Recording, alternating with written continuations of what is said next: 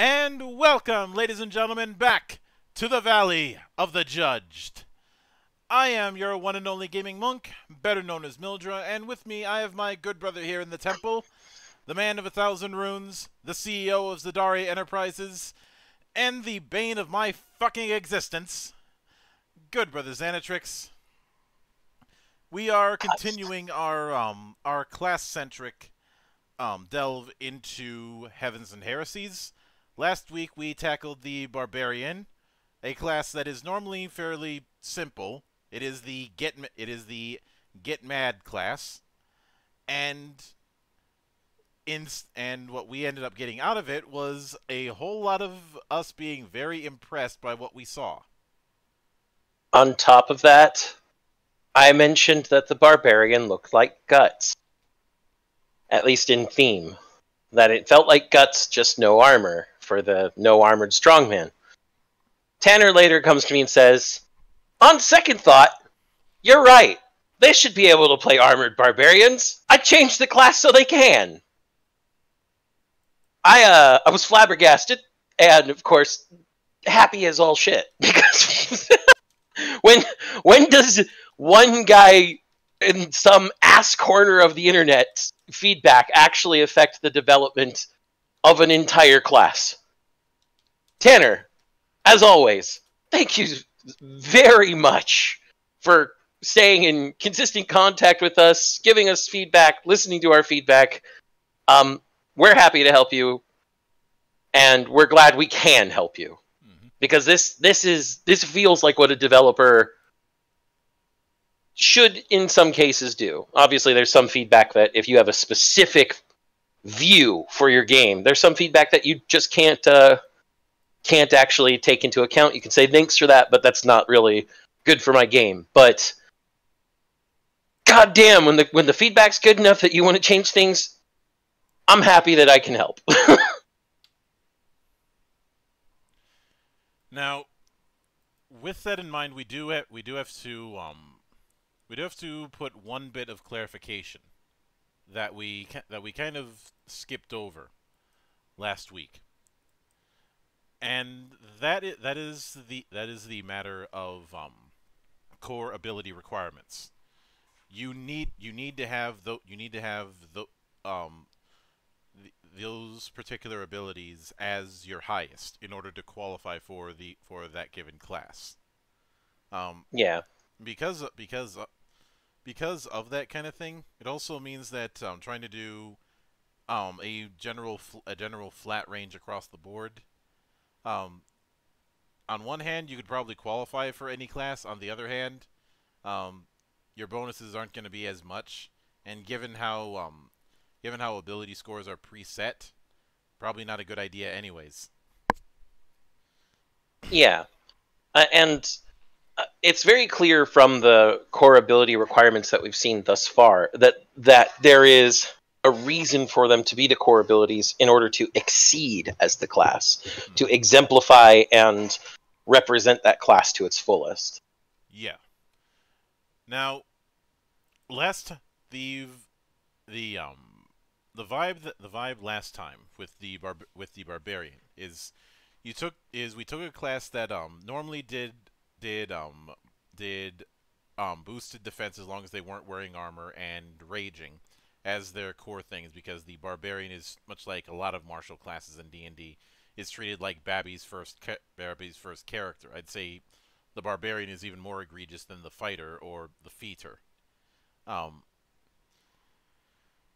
but what we got instead out of that was a class that a class that is tanky, not because of its high defense, but because because of its high health and high and high ability to get temp health or reco- or recover health.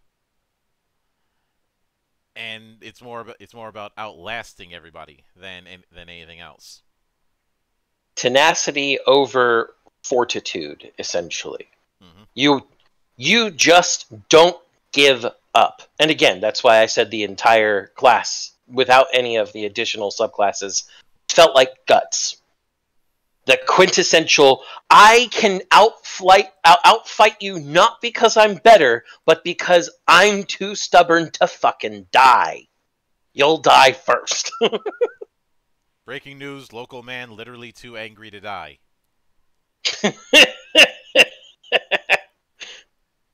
that uh that describes so many characters that I resonate with on a personal level. Um, I feel personally attacked here. But if I'm the barbarian, uh, this week's class is, is uh, our illustrious host himself. now I feel attacked.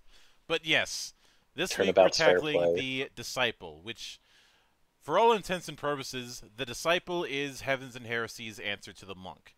It's not a one-to-one comparison, but neither was the barbarian from last week. Um, and this is this is where this is where I have to I have to bring up the um co- the core. Now, the monk is a is a fairly popular class. I'd say a lot of it is is due to the theme of people wanting to do the whole kung fu thing. But there's but there's also the there's also the fact that um them being able to substitute dex for strength when making attack and damage rolls. Which um as we've established in the past, dex in D and D is basically a god stat considering all the things it's used all the things it's used for. It's been a trope since I want to say White Box. Mm -hmm. And the and there's and there's the there's the whole thing there's the whole thing with un, with um with unarmed strike fo- unarmed strike follow ups um and and a lot of the a lot of the iconic stuff as well as um introducing key introducing key as their own little mana but not quite kind of thing Mhm. um, and but the th- the thing is, the thing is with the monk, although although um although it's stated that mad mad or multiple ability dependency is no longer an issue for monks in 5e, um in a way it kind of is. Because you do because you do have you do have to balance you do have to balance multiple um multiple abil- multiple ability scores to one be able to hit things, two not be not be a squishy boy, and three um be able to actually have a decent reserve of ki. It's not as it's not as egregious as the third edition monk, but it is still there.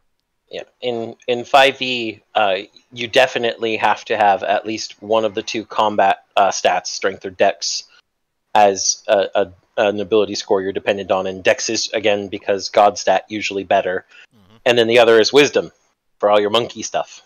Yeah. And of course, and- of course, and pro- I'd say I'd say those two as well as con because for for the most part you're gonna be you're gonna be in close, meaning you're gonna be taking hits. Yeah, but con's been an ability dependency since third for every class. There's no way you can take a class in early levels without a, a focus in con. Now, if you're starting mid to late game, maybe then you could you could choose not to use con on some of the casters, but even in early game, you have to have con on your casters. Um, now and that bring and we because because of all because of all that, um, I can see why the monk is is a fairly popular class to pick for a lot of people. At the sa- at the same time, you do you do still have that one size fits all version of version of martial arts. Which Yeah. is some which is something that I've I've never been a huge fan of because yes, I get I get it. The mo- the monk is supposed to be the living embodiment of I know kung fu. But as I stated when we did the reconstructing D&D classes episode of Geek Watch, the answer that I have to I know kung fu is which ones? Ah, yes. When everybody just thought kung fu was a catch-all term. Well, the the big pro- the big problem is if if we want to really get pedantic, the the term kung fu doesn't even have to tie to martial arts. means hard work. It's all that's all it means, people. All it means is hard work. So, um, would it be so? Would be would it be fair to say that any, that everybody on um, everybody on Tumblr and a lot of people on Twitter can never learn kung fu?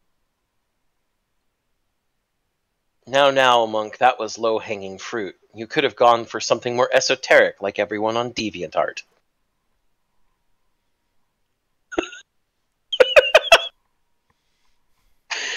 No, Except no, for I'm a gonna- small, no, I'm small gonna go- I'm law. Go, I'm gonna u- yo- I'm gonna I'm gonna go even more esoteric. Everyone on Fur Affinity. Except for, as Sturgeon, Sturgeon's law must imply, about ten percent of them. Yes. Um, but yes, that does imply that so many people on so many of these sites will never know kung fu. I don't know. Have you heard? Have you heard the rees? Just saying. But get getting back getting back on the rails.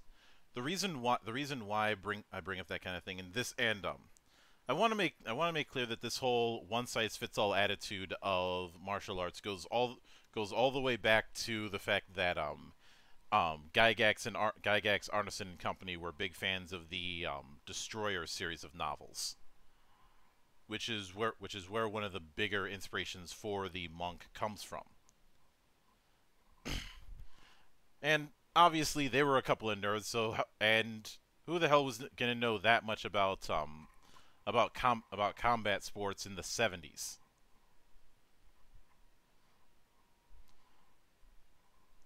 I mean, when you th- when you th- I mean, um, it would be it would be it would be quite a while before even pa- before even um, pancrase became a thing. Not pankration, pancrase. Which, um, given that given you're familiar with the murder grandpa, you should be somewhat familiar with pancrase. Yes, yes, I am. Um, if you want a more detailed look in the ear in the early days of com- of the of mixed martial arts, I highly recommend watching the the um vi- the video "Fighting in the Age of Loneliness," which is which was this lengthy documentary on the early days of the sport done by um, Secret Base. Um, I think it's like two or three hours long, but when it but when it com- when we see a lot of martial arts characters in fic- in fiction. They usually have a specific style asso- that they're associated with, or even multiple styles in some cases. Yes. And because and because of that, trying to do, trying to do the one size fits all martial artist doesn't doesn't work as much anymore. And I I know I know that some people will say, well, in 5e you could take certain you could take certain feats or, or a certain subclass. That is a bandage, not a fix. hmm But that brings us to the disciple. And uh, as always, I like le- reading these blurbs he read he leaves us because so far they've been interesting. Each one. all right, let's go. Let's go with this one. Okay. A Grand Master once told me to view my weapon as an extension of my own body. I was never much for my studies, but this particular exercise amused me, since it was not, as most might think, an exercise in physicality, but instead one in consciousness. In my mind, in order to complete the task, one must extend one's own consciousness into an object in order to effectively control that object. So much fun. This task proves that consciousness is fluid. Now, what happens when you drop the object? An arm once severed ceases to function. But a weapon is not an arm, and the exercise is to extend and manipulate one's mind. Can one, theoretically, leave an inkling of one's consciousness, or one's conscious mind, in an object? Can one then, through the extension of their conscious mind, manipulate the object? Better yet, is it possible to implant one's consciousness like a seed, to grow it from a small fragment into something more? Can one take that seed and reconstitute it with the self and thus expand one's state of being exponentially? Is the me you speak with now me, or merely a fragment of the consciousness I have left within this body? Does my true consciousness lie elsewhere? Finian Halfstep, quarterling disciple of the Laughing Monkey. Sounds like he's been to the shrine of the Silver Monkey too many times. God damn it! Oh, But uh, I I like that blurb because it implies to me psionics without psionics. that's true. I'm looking I'm looking forward to see what the laughing monkey uh, archetype stuff is now. oh shit. As a side note, Uh, viewers, I go into every one of these documents completely blind so I can be pleasantly surprised or unpleasantly disappointed, as in the case of Level Up 5e. Mhm. But we're not talking about Level Up 5e, we're talking about Heavens and Heresies, and I am always on board with this one so far. So the core the core abilities and the that that are going to that are going to be central are either strength or dexterity and intuition. And it says when you make a skill or spell attack, you use your intuition modifier for that attack. Much in, and it is possible that we're get, that we're going to be seeing a we're going to be seeing a pattern, but then we get then we get into proficiencies. You have simple proficiency in four weapon types, so you're not just stuck with unarmed or quote unquote monk weapons, which I always found to be kind of finicky for the same reason I find this feat is a fighter bonus feat um, to be finicky. Um, you're proficient in your intuition defense, strength defense, and dexterity defense. Not too, not too. So that's so that's that's strength defense and dexterity defense, even if you only have one of the two core ability requirements between strength and dexterity. Nice. You are proficient in two of the following skills: athletics, history, investigation, and skullduggery. Skullduggery. What? I mean ninja. Okay, never mind. Nin- nin- ninja monk would, would work here. Okay. um, and can learn two additional languages of your choice. As a disciple, you have a number of vitality equal to half your level plus your intuition mod. In addition, you recover additional vitality equal to your in- indiv- intuition mod whenever you push forward. Then we get to the death flag. When a disciple raises the death flag, they are instantly restored to full HP. Their movement increases by 15 feet. They may gain the benefit of all of three of their stances simultaneously each round, and may assume the same stance multiple rounds in a row. And they gain an additional action and reaction each round. I again, this is another clarification issue for me Mhm. because saying they gain an additional action and reaction each round to me sounds like that's they have an additional action reaction on top of what they already have per round. But a rules lawyer could once again go through here and say, "Well, that just means I get an, a, another action and reaction each round until I've built up like 11 actions and reactions 10 rounds down the road." No. No, I'm I'm almost sure it's just oh, you have one more than what you usually do per round you're in combat. hmm Let's see. So then, then we get to the features. So you and Well, they're starting gear first. Uh, Yes. Two weapons of your choice, Mhm. an adventuring kit of your choice, and a tier one rejuvenation potion. hmm And interesting, you you have to pick your archetype right out of the gate. Well, that implies to me that these features, unlike with the barbarian, which added flavor, hmm these are baked in in such a fashion to decide how your monk is going to play from the get-go. Which I'd And say, that- I'd say this is pretty unheard of because um I like it. Yeah, I've joked about how you needed how in 5e you needed to have your subclass in order to actually be interesting, but even but even within that, most of the, most of the time you um I think with only I think with only rare with rare exceptions, you um you ended up gaining your subclass at third level. You rarely I don't think there were any I don't think there were any classes where you had your subclass right out of the gate. You either got it at second or third level. I don't think so. But I think what's going for here is all monks are going to learn the same basics. hmm And that's what's going to be the outside of archetype uh, features. Um, with a barbarian, those basics were were carried all the way out into 20th level, even without the archetype, and gave it a lot of its tenacity that to, to show that the key focus of a barbarian is to be tenacious, and then you can flavor that tenacity with one of the archetypes. I'm seeing an opposite effect here. That each that, that your monk is going to be unique from the get-go in some fashion, and then it gets the generic tools a monk needs as part of being its specific archetype and also uh, having just the general features. So the archetypes are going to be what differentiates you from other disciples, but the the the stuff that's general features feel like just the basic.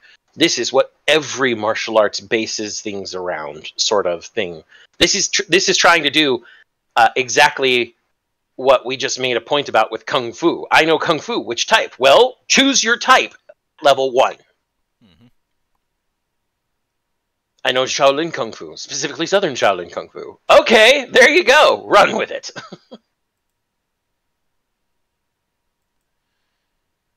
And it so it looks like you get the disciple features at third, seventh, eleventh, fourteenth, and eighteenth, hmm which is quite a few more uh, tiers than were in the barbarian.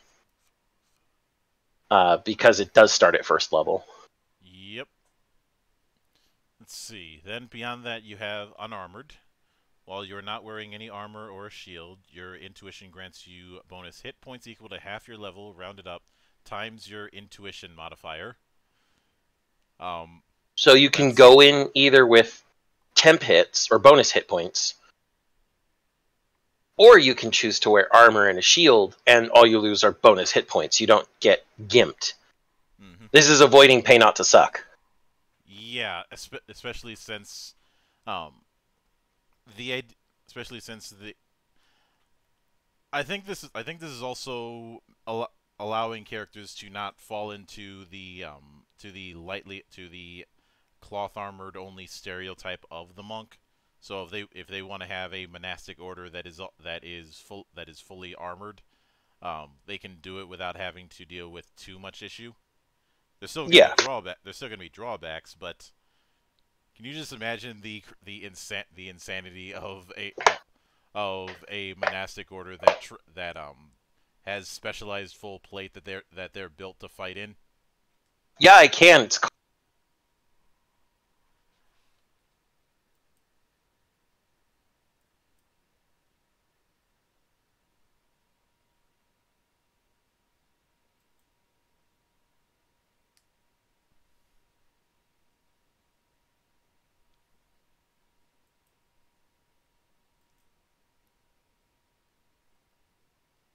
Technology likes to give us the middle finger, eh, Monk? Yep. As to as to uh, answer your question about a monastic order with a specialized suit of a full plate, uh, I can imagine such a monastic order. Their name is the Knights Templar, and that's the point where he went silent because of tech derp. But I thought that maybe he was internally cringing so hard that I had to make the "Why are you booing me? I'm right" meme.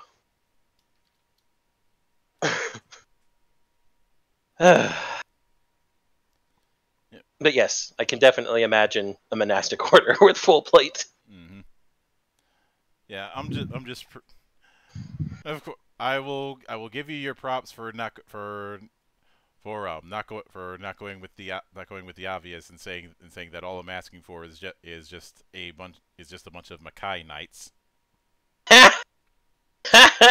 Makai Knights, or um, I mean everyone from Saint Seiya. A little more magical than most monk types, but still, they're they're basically monks in armor. hmm Any anyway, so second second level features we start with deflect missiles, of course, good old cla- good old classic. You may use your reaction to deflect or catch the missile when you or an ally within five feet of you are hit with a ranged weapon attack. When you do so, the damage taken from the attack is reduced by 1d10 plus your intuition modifier plus your disciple level. Not much to say about that. It's standard fare. Yep, just with and with the additional standard fare of uh, when you reduce the damage to zero, you can catch it and and and if you have one hand open, Mm-hmm. And and you can throw it as the same reaction. You make this attack with proficiency, regardless of your weapon proficiencies, and the missile deals 1d6 plus ability modifier damage. The the same thing we've seen on the monk since at least third. mm -hmm. But it's it, it is one of those kung fu staples everybody likes, being able to catch an arrow or a shuriken or whatever out of the air and throw it back. Yeah. So Um, it's it's a good one to keep. Yeah. Weapon special. Next is weapon specialization. Um, you gain one of the following feats. You must still fulfill the requirements for the feat in order to choose it. So we have Axe Mastery, Blade Mastery, Crossbow Mastery, Fell-Handed, Flail Mastery, Polearm Mastery, Bow Mastery, Trapper, and Unarmed Strike Mastery. So you can so once again, you can be a monk who doesn't have to punch everything. You can Yeah, be a you- shooty monk. Crossbow monk. I could imagine you dual wielding crossbows, Mildra. I wasn't even gonna go with that. I was gonna go. I was gonna go with the. Um, well, consider consider my temple. It's built on the side of a mountain. What kind? What kind of what kind of monks would that be? What kind of weapon styling would that be perfect for? Lots and lots of traps. Also, crossbows. That's why I said I could see you dual wielding crossbows. I'm a monk, not a not a Diablo style demon hunter. No, I just, Might as no, well- just no, just put no, just put up a bunch of people on a crow's nest and just have them sneeper. Sneeper, no sneeping. Yep. oh. Let's let's see. Then at third level, you while you're wearing no armor and not wielding any type of shield, your movement speed increases by five feet. This increases to 10 feet at 11th and 15 feet at 17th. Once again, a staple feature, so not a whole lot to say about that. And we have of of both body and mind. Whenever you miss with an attack on your turn and gain a and gain a point toward your combat focus, you can choose an ally within 30 feet of you to also gain a point toward their combat focus. I like this. So e- even if you suck, you're still helping the team. Even if you suck and only do half damage. Oh wait, you're you're an unarmed monk. You're you're automatically dual wielding, so damage into half. That's that's gonna. Be I'm never not going to say that at this point. Yeah, that's gonna be one of those thi- That's gonna be one of those things to examine. Um, at ninth level, you can choose two allies within 60 feet of you to also gain a point towards their combat focus. Um, I'd consider I consider wording that some, to make sure to make sure that the that the two of them um, don't stack. You know, to make it clear that no, that up until ninth level, you pick one ally within 30 feet. After that, you can choose two allies within 60 feet. Unless, of course, you want it to be three allies total with one ally and 30 and the last two within 60. Keep it that way, too. I don't care. At this Yeah. point, I just love it. Mhm. Um, at fifth level, you gain. It says in the course in the course of a round, you may take either one extra one extra action or one extra reaction, but not both in the same round. And I gotta bring up the dev note here. Yep, you read that right. A full extra action which can be used to dash, attack, etc. Anything a normal action could be used on, they just get two of them. It's why I run multi-classing the way I do, which is described in the class introductions page, so I can give each class awesome features like this. Keep that note in the final version. yeah. I would I would suggest that you just leave this note here forever. Mm -hmm. Not even remove it at, at, once you go once you go gold. Just just leave that. Yeah. At 5th level, you also gain a bonus martial feat, and an additional martial feat at 11th and 17th. Um, at 6th level, you gain legendary resistance. If an attack were to hit you, you may choose to have it miss instead as long as it would not automatically hit you. Once you use this ability, you cannot use it again until you push forward or complete a rest. Um, and considering how often fights or well encounters, excuse me, may or may not occur between rests or, or when you have to push forward. Um, unlike our our problem with may not do again till short or long rest, um, this is actually much better paced. mhm. And then at, at, at 10th level, this upgrades to you may choose to have the attack miss you, even if it were to automatically hit, but not critically hit. And then at 15th, you may use this feature on an attack, even if it were to critically hit. So at 15th level, once per per any in, encounter between rests or push forwards, you can just say no, and you're and you're Neo at that point. No. that attack, no, that one doesn't hit me. Fuck off. but it's a critical. I don't care. Now I'm th- now I'm thinking of the eternal teleport behind you gag that was that was in a um four koma for Buso Renkin. Too slow, says you. Too slow, says you. Too slow, says you. Where the fuck are you going? they just keep they just keep appearing behind each other in one giant ass chain. It's great. I remember that. Um, at tenth level, this becomes legendary resistance plus. You may choose to have, to have the attack miss you, even if it were to automatically hit, but not critically hit. And Yep. at fifteenth level, you may use this feature on an attack, even if it were to critically hit. Yep. Like I said, at 15th level, just once per encounter between rests. No, you're, you're Neo. You, you you said fuck off.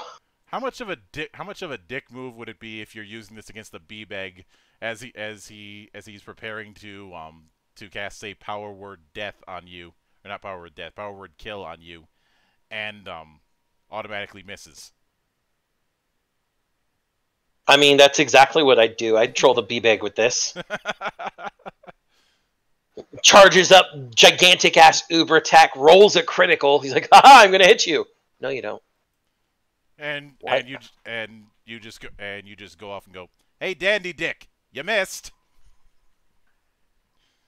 He's got magic cards and magic hands. Anyway, um, at seventh level, you gain Wind Walk. So, while falling, you may expend a vitality in order to have you and any creature you are carrying gain immunity to falling damage until you land. So Featherfall Mhm. by by spending one vitality, and it extends to creatures you're carrying. So you can grab the party and go. We're jumping off this cliff to escape the explosion now. Bye. And um, at thir- at 13th level, you may move along vertical surfaces and across liquids on your turn without falling during the move. Oh hey, it's uh it's crouching tiger, hidden dragon, Um, or what- Wuxia. you want to know what you want? You want to know what makes this even more stupid? What's that? Um, remember what I s- remember what I said about the whole arm about the whole armored monk thing. Yeah. the Knights Templar walking on water and up up walls. That happened. They have the power of God and anime on their side.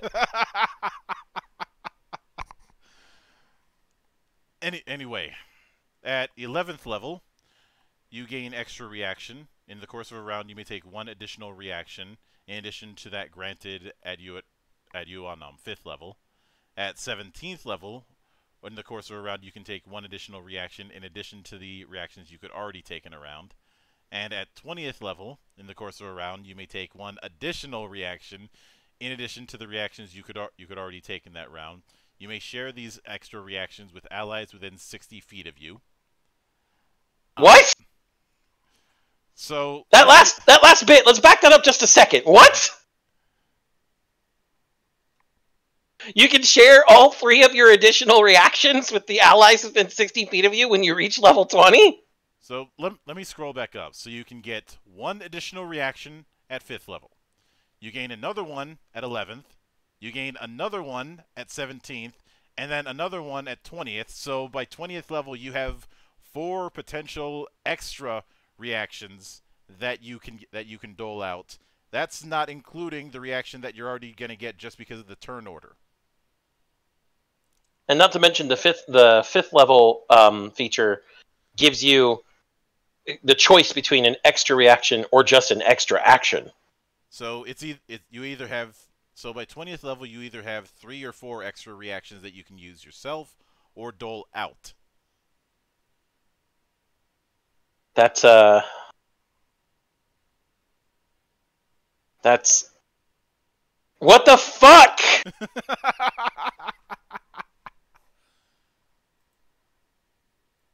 I'm just gonna let my allies react. I ain't even gotta do shit. What? Okay. that's a that's a fucking cool capstone. I'm not gonna lie. It may just be a, ch- a chain of features that go up to twentieth, but that's actually a really cool capstone. I have four reactions and three party members. We're all going to react to you, and this is going to be like when any Super Sentai team crushes the B-Bag. See, then we get into archetypes. and look just looking at the first feature for the first archetype, yeah, this is get this is where things are going to get crazy. Er. This party's starting to get crazy. Please don't please don't hit the jukebox again. Jukebox. Oh, we're we're well past the age of jukeboxes, Monk. I'm just gonna start playing Bury the Light right now. so first we have the Way of the Laughing Monkey when it comes to um, this, when it comes to disciple archetypes. As mentioned before, they must have they must have uh, visited the shrine of the Silver Monkey way too often. Mm-hmm. So, masters of trickery and mischief, those who follow the way of the laughing monkey are experts at illusion. Disciples in this archetype are able to make mirror images of themselves in order to aid allies and hinder their enemies. It's Son Goku. My comparison to Legend of the Hidden Temple was more apt than I thought. What the fuck? that entire temple is full of pitfalls and illusions. Uh, okay. But I have yeah, to ask. Tanner, was he thinking of Nickelodeon or Son Goku or both? That's a good question. The answer is yes.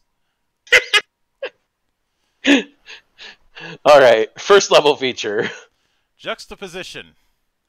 You are granted access to three different stances. Assuming a stance requires it requires you to utilize a quick action, zero feet, and the effects of the stance last until the beginning of your next turn, or approximately 10 seconds if you are not using the initiative order. You may not assume more than one stance in a turn, or assume the same stance two turns in a row. The benefits of your stance apply only to weapon attacks with which you are proficient. Wait a minute. Where, where have I heard this before? It's almost like flashback. You played Final Fantasy XIV. you also like Castlevania. I'm pulling out all the stops tonight, apparently, Monk. Apparently. But uh, th- this this this very much feels like the stance changing system in the, in the in the base global cooldown combo of the monk from Final Fantasy XIV. Mm-hmm. I would I would bring up 13th Age, but that's doing something similar but not the same. Still stance dancing. I love it. Mm-hmm. Um, so the first one is Doppelganger. When you assume this stance, you gain bonus damage to your attacks equal to your intuition modifier. In addition, when you enter this stance, and each time you hit a creature with a weapon attack while in this stance, you may spawn a doppelganger on a free action, on, sorry, on a free space within melee reach of you, or within five feet of that creature. Uh, alternatively, you may spawn a doppelganger where you currently stand and teleport yourself to a free space within melee reach of you, of you or within five feet of the creature. This doppelganger is identical to you in every way, though it is an illusion and has only one hit point. Like you, it can be subject to conditions, though it takes no damage when weapon attacks fail to hit rather than half. You may speak, utilize items, features or items, or attack through your doppelganger, but you but you yourself must spend the resources to do so. You cannot see through the doppelganger's eyes and must see a doppelganger to control it. The doppelganger doesn't does not set off traps reliant on weight, but can otherwise be detected. Any healing the doppelganger receives heals you instead, unless you both unless you would both be subjected to the same instance of healing multiple times, in which case only you are healed. Your actions, reactions, and movement are shared between you and your doppelgangers. Whenever you assume a stance, your doppelgangers assume the same stance. If a doppelganger travels more than 60 feet from you, it disappears. Doppelgangers last for the duration of an encounter or 30 seconds if the character is not currently in an encounter. If a creature is attempting to distinguish between you and your doppelgangers, it makes an intuition investigation check against your intuition defense. So I plucked a hair from my head and made another me. Got it. and even more than that, this could this could probably involves this could involve some potential crazy um, combos with the crossbow monk. I shoot you, then te- then teleport over you so I can kick your ass in, up and close. and I leave my my my uh, doppelganger behind with a phantom crossbow. Mhm.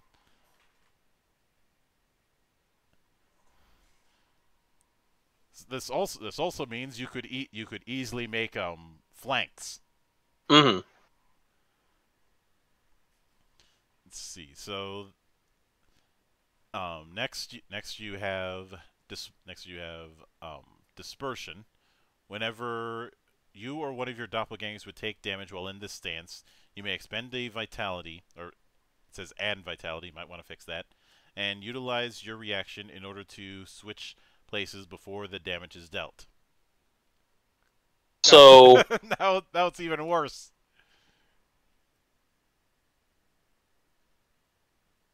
so either you can uh, have you have a dop. Let, us say you, we we're continue. Let, let's continue your crossbow monk example. You shot the guy, you teleported to him, and left your doppelganger behind. It's now his turn. He swings at you. Before damage is dealt, you switch it through doppelganger, who only has one HP to begin with, and uh, probably disperses into nothingness. But now you're back in, at uh, crossbow range and ready to shoot him again and do it all over again. That's just not fair. Um, then we have Phantom Rush. While in this stance, you no longer share a movement speed with your doppelgangers, and they gain a movement speed equal to your own. In addition, you may use your reaction on your turn in order to trade places with one of your doppelgangers while in this stance. So, are dispersion and phantom rush the other two stances? Yes. Okay, I just want to. I think. I think that it needs to be made a little more clear. Mhm. Um, that these are also stances. Maybe they could just be tagged as stances or something along those lines. Pro- that that might work. So you move from doppelganger stance to dispersion stance, and then to phantom rush stance. You don't you don't necessarily have to move in that order. I know, but I'm just saying that actually seems like the natural order to do things. Looking at this, The only rule that you have is you can't be in the same stance for more for more than one round. and you can't do it twice in a row. You can't do the same stance twice. So you have to you have to be able to do one, then another, then another. You ha- you have to you have to stand you have to be playing footsies with stances. Yeah, stance dancing. You could just go doppelganger dispersion over and over and over if you really wanted to, Mhm. or doppelganger and phantom rush. Yep. So next at seventh level you gain illusory existence. Once per turn as a free action, you may ex- expend and vitality. Do I hear too? In order to gain a number of doppelgangers equal to your intuition modifier that follow What? the same rules as those listed in your doppelganger stance. Free action. Free action. Spend one vitality. Spawn doppelgangers equal to int mod. And yes, that if you have a plus four in mod, four doppelgangers. Go. I plucked four hairs. There's a reason that that that, that uh, Sun Wukong's ability was called the Unshackled Doppelganger. He could eventually sp- spawn armies. At, at 14th level, you gain Greater Juxtaposition. Your stance is improved in the following ways. With Doppelganger, you may choose not to add your your Intuition modifier as a damage onto your wep- onto your attack in order to spawn an additional Doppelganger when you enter the stance and hit an enemy with a weapon attack. So, you forgo, forego extra damage for extra doppelgangers. Yes. See, dispersion. Whenever an ally within 30 feet of you or your doppelgangers takes damage, you can use your reaction and expend a vitality to have either yourself or one of your doppelgangers change places with that ally before damage is dealt. And Phantom Rush, your doppelgangers do not provoke attacks of opportunity unless you choose to have them do so. What the fuck? and at 18th level, Mischief. Whenever you assume a stance, you may expend a vitality and turn a number of creatures or doppelgangers equal to your intuition modifier within 30 feet of you invisible and making them hidden. You may expend additional vitality to affect more creatures. The severity of the condition is equal to your intuition modifier plus your proficiency modifier. This invisibility lasts for the encounter or lasts until the creature attacks, makes an ability check, or casts a spell. And your maximum vitality increases by an amount equal to your proficiency modifier. So we have so you can you can build an army of doppelgangers and make them invisible.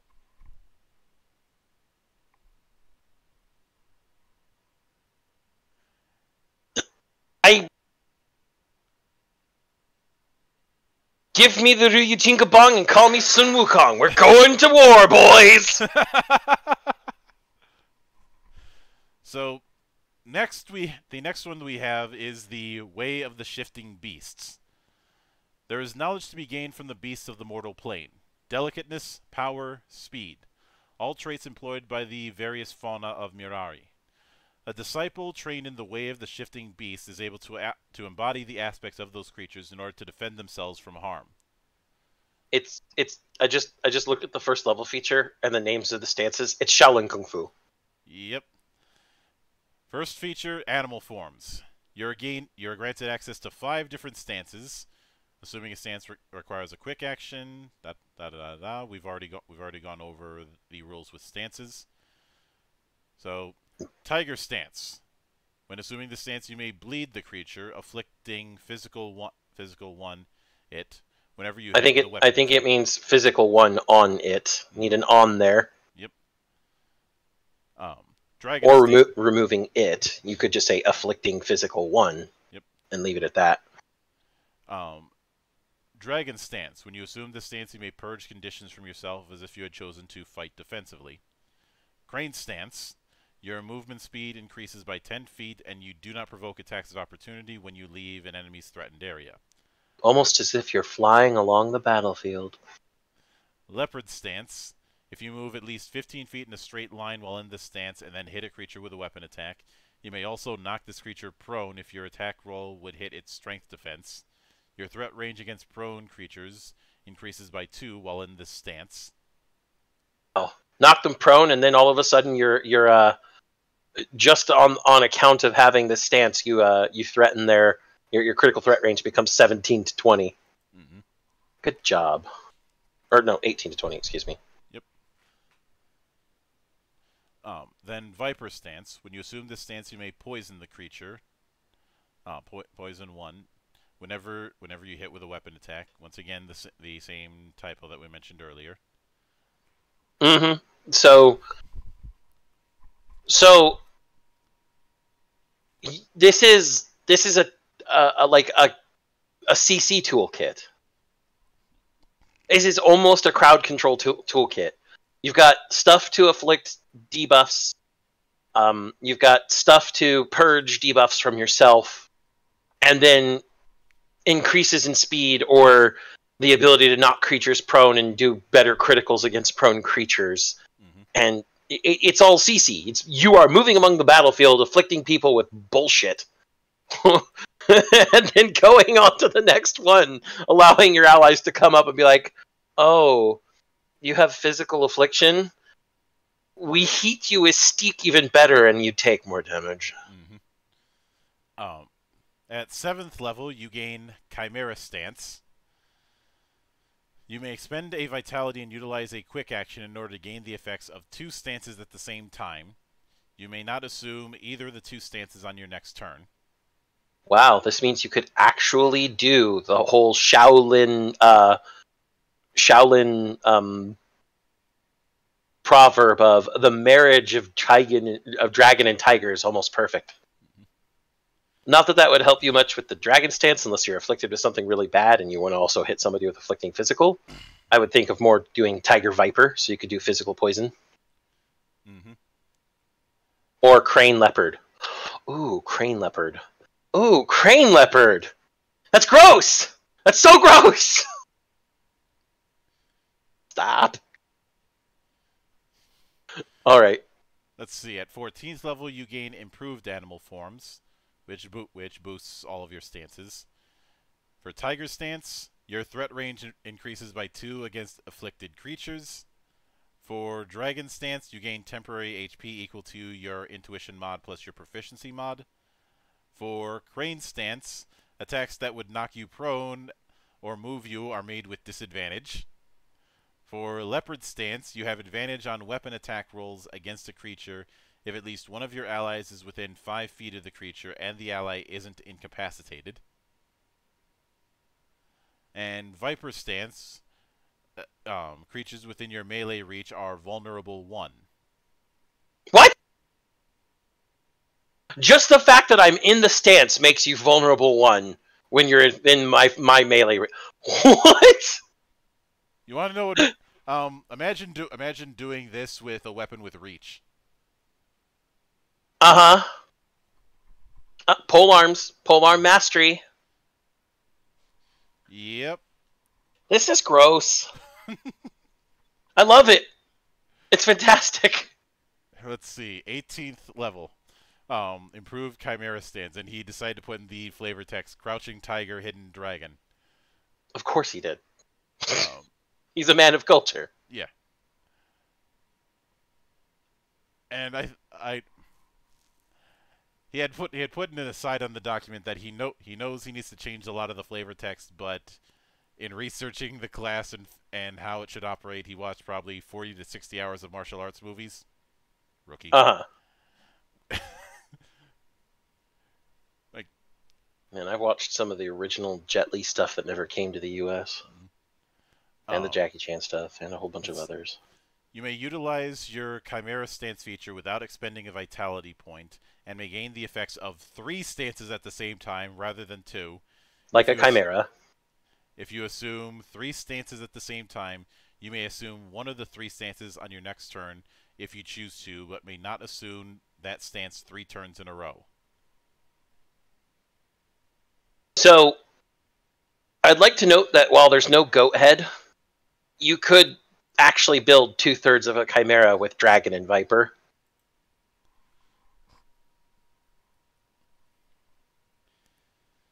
I, I would, if I, if I were going to do this at 18th level, my first chimera stance in a round would probably be, um, tiger, dragon, viper. So I get the temporary hit points things are vulnerable and I can immediately inflict both poison and and affliction physical on things. And then the next turn would be tiger, crane, leopard because now my threat range is increased and I have the increased movement and I have all the the leopard stance stuff. It's just and then I guess my third my third uh third round would be crane, leopard, viper because oh my god, oh, crane Viper Dragon, excuse me. That's just and every time now the real question is every time you go into Dragon Stance, you'd get temp hit points, right? Yes. So if you're rotating Dragon Stance out every so often, uh, you're you're getting a an almost permanent temp hit point shield. I mean, obviously at, at 14th level, you're taking some pretty big hits. So in, int mod plus proficiency mod may not be a huge amount of temp hit points, but that can be potentially life saving, especially if you're refreshing it. Yeah, let let me um let me take a look at what vulnerable is when it comes to I remember that that one I think increases critical threat range per level of the uh, of the um, affliction. Pretty sure. Ye- Yep. How did I remember? Because it's utterly ridiculous. And I love it. And it, it- it's a, it's an inclusion to other things too, if I remember. Yeah.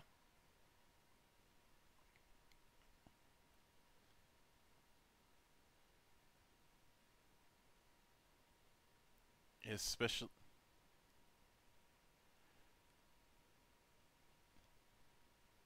Yeah, that that so that mean that means that um your threat range your threat range against prone creatures while in leopard stance is um is 1720. 1820. Two two plus or uh, two more because it starts at just 20 and then it goes two more down from that. Yeah, and that um then remember And then vulnerable would, would stack on that on top of that. Or if you're a tiger and you've just inflicted things with afflicted poison or afflicted physical one, now your threat range is 1720 if in a tiger viper stance.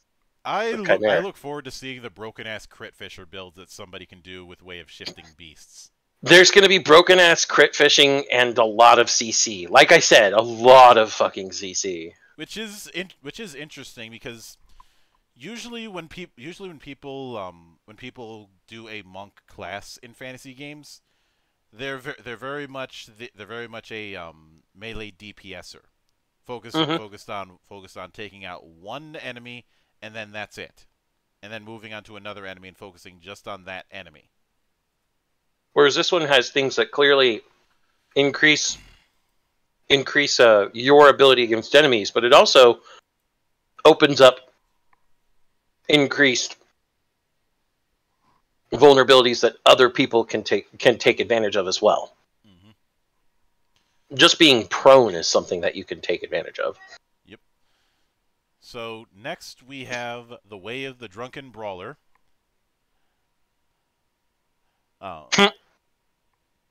For some, the drink is confusion, a hindrance to clarity. A disciple trained in the way of the drunken brawler finds neither confusion nor hindrance in the drink, but instead lucidity, enlightenment. They utilize the drink to match their bo- to match their body to the ebb and sway of the world's chaos, channeling it in order to defend themselves. Drunken immortal time. Drunken Taoist immortal. hmm That's what this is. First feature, each is Endless Gourd. Each brawler is equipped with their own gourd as a symbol of their discipline and ability. You gain an additional personal effect, a gourd or flask or some other liquid container. Only you may drink from this vessel from this vessel and only when in your ganbei stance. Otherwise the Ganbei. Yes. As in as in the, the Chinese pronunciation of of the same thing we hear from Japan as Ganpai. Mhm. It's it's cheers. Your cheers stance.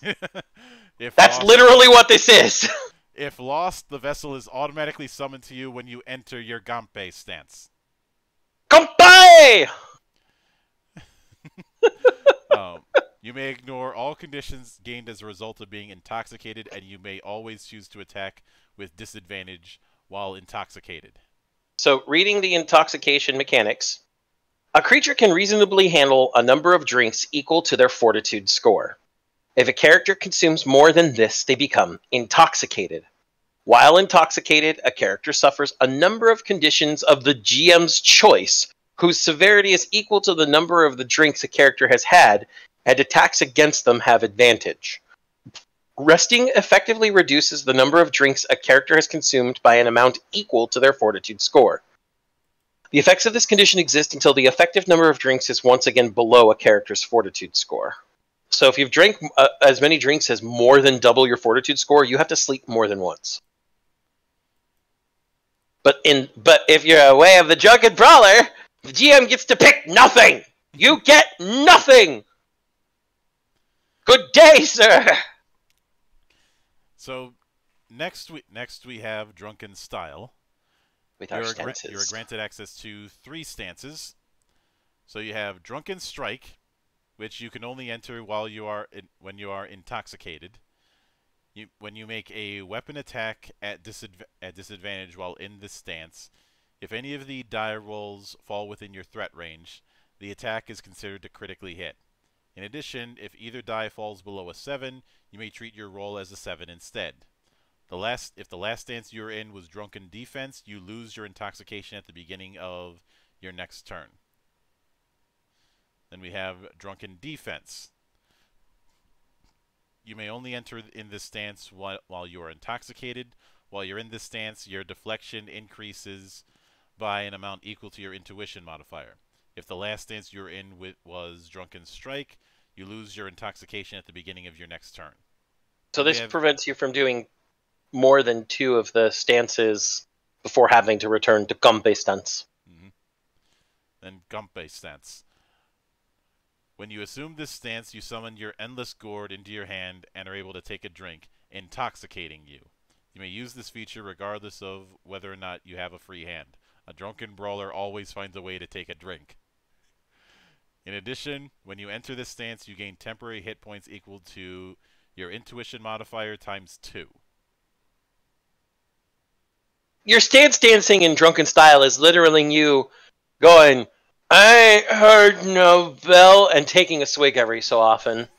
Um, especially considering the fact that you you can choose to roll at disadvantage while intoxicated, which plays into your drunken strike, which means you can't roll below seven, and so you'll only fail if you roll one uh, one through 4 Mhm. and well, unless of course a seven or higher isn't enough to hit whatever you're hitting, but even then that miss is still half damage. and if the die fall, like if you have an expanded threat range, which there are many ways to get one, so and your die just falls within the threat range, it's an automatic crit. What? Okay. I love it. And then deflection increased by the amount equal to your int mod while you're in drunken defense. That's fantastic. So, dur- so during battle, you're going to be going Ganbei, and then uh, drunk, probably drunken strike next, and then Ganbei again, and then probably drunken strike next. Just to keep yourself drunk as hell. And then maybe if there's something coming your way, you're like, oh, that's no goody. Um, drunken defense for deflection, and then back to Ganbei. Yeah, this is this is where we kind of deviate from that from that tri- from that Trinity kind of circle. This is less of Yeah. a Trinity and more of a um more Branching duality. Yeah. You're trying to go All Go ahead. I was gonna say all of it stems from saying cheers and taking a drink. Um, I I would. I there is a there is a small part of me that that is wondering. Okay, if okay if we're going if we're going with the um, if we're going with the if we're going with since these are all weapon attacks and it doesn't necessitate melee, um, the um dr- the drunken sniper is still viable.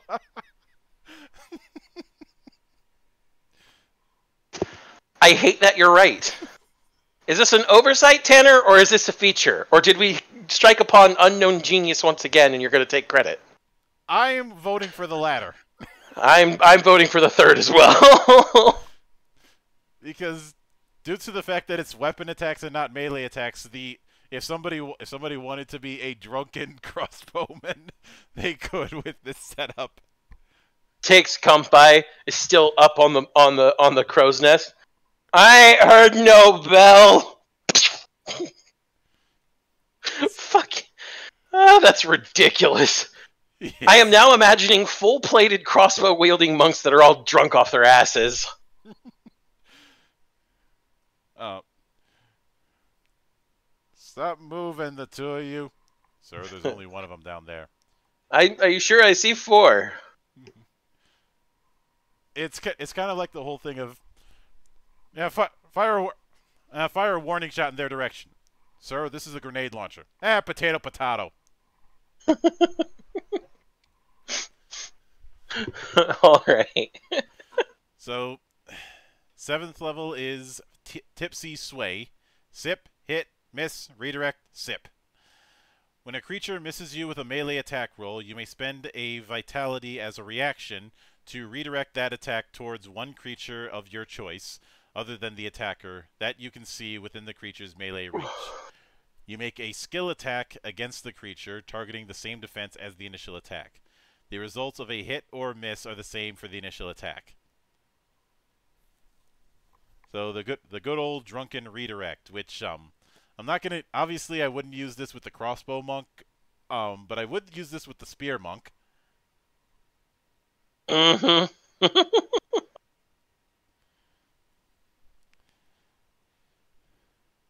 So then we have at 14th level quick sip. At the beginning of an, your encounter, before any creatures have acted, you may enter Ganbei stance. Doing so does not count as a turn within the initiative order if initiative is being tracked. So you start out the fight drunk.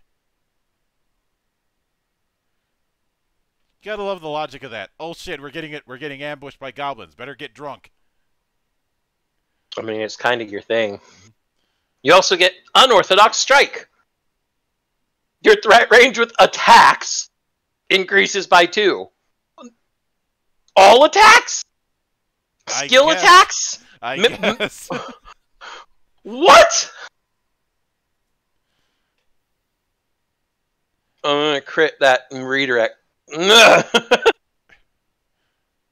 And if you're drunk, and in drunken strike, and it falls in your new threat range, and you and you and you critical the skill attack against, against the what?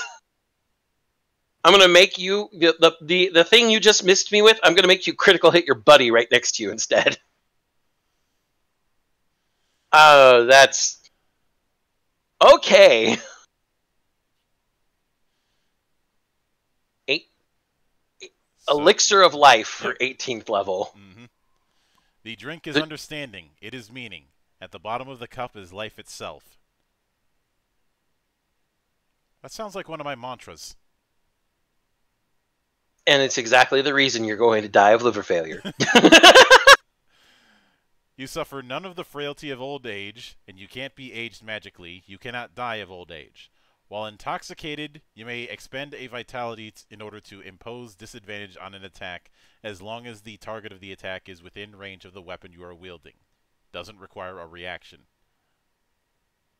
so it's a free action. hmm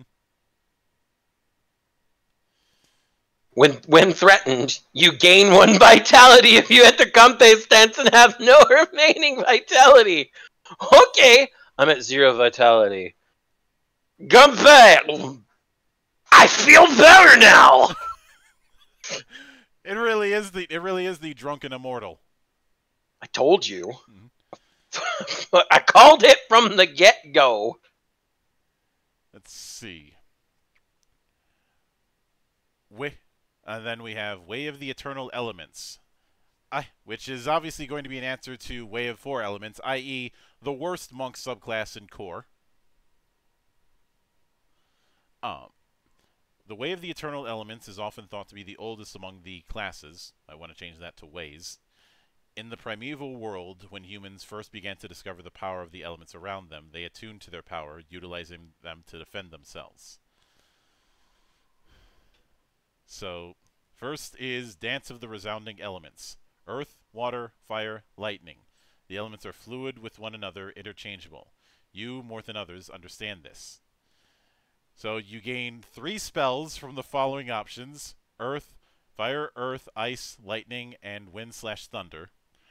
You are I know what I'd go for. to- You are granted access to three different stances. First stance is Tranquility. When you assume this stance, you focus your elemental energy, gaining Ki. You gain an amount of Ki equal to your Intuition modifier when you assume this stance, and gain one additional Ki each time you hit an enemy with a weapon attack while in this stance. While in this stance, you gain one deflection for each ki point you have exceeding your Intuition modifier. You lose all unused ki points if you do not enter dissonance on your next turn. And he put in a um, he put in an aside that I feel should be read.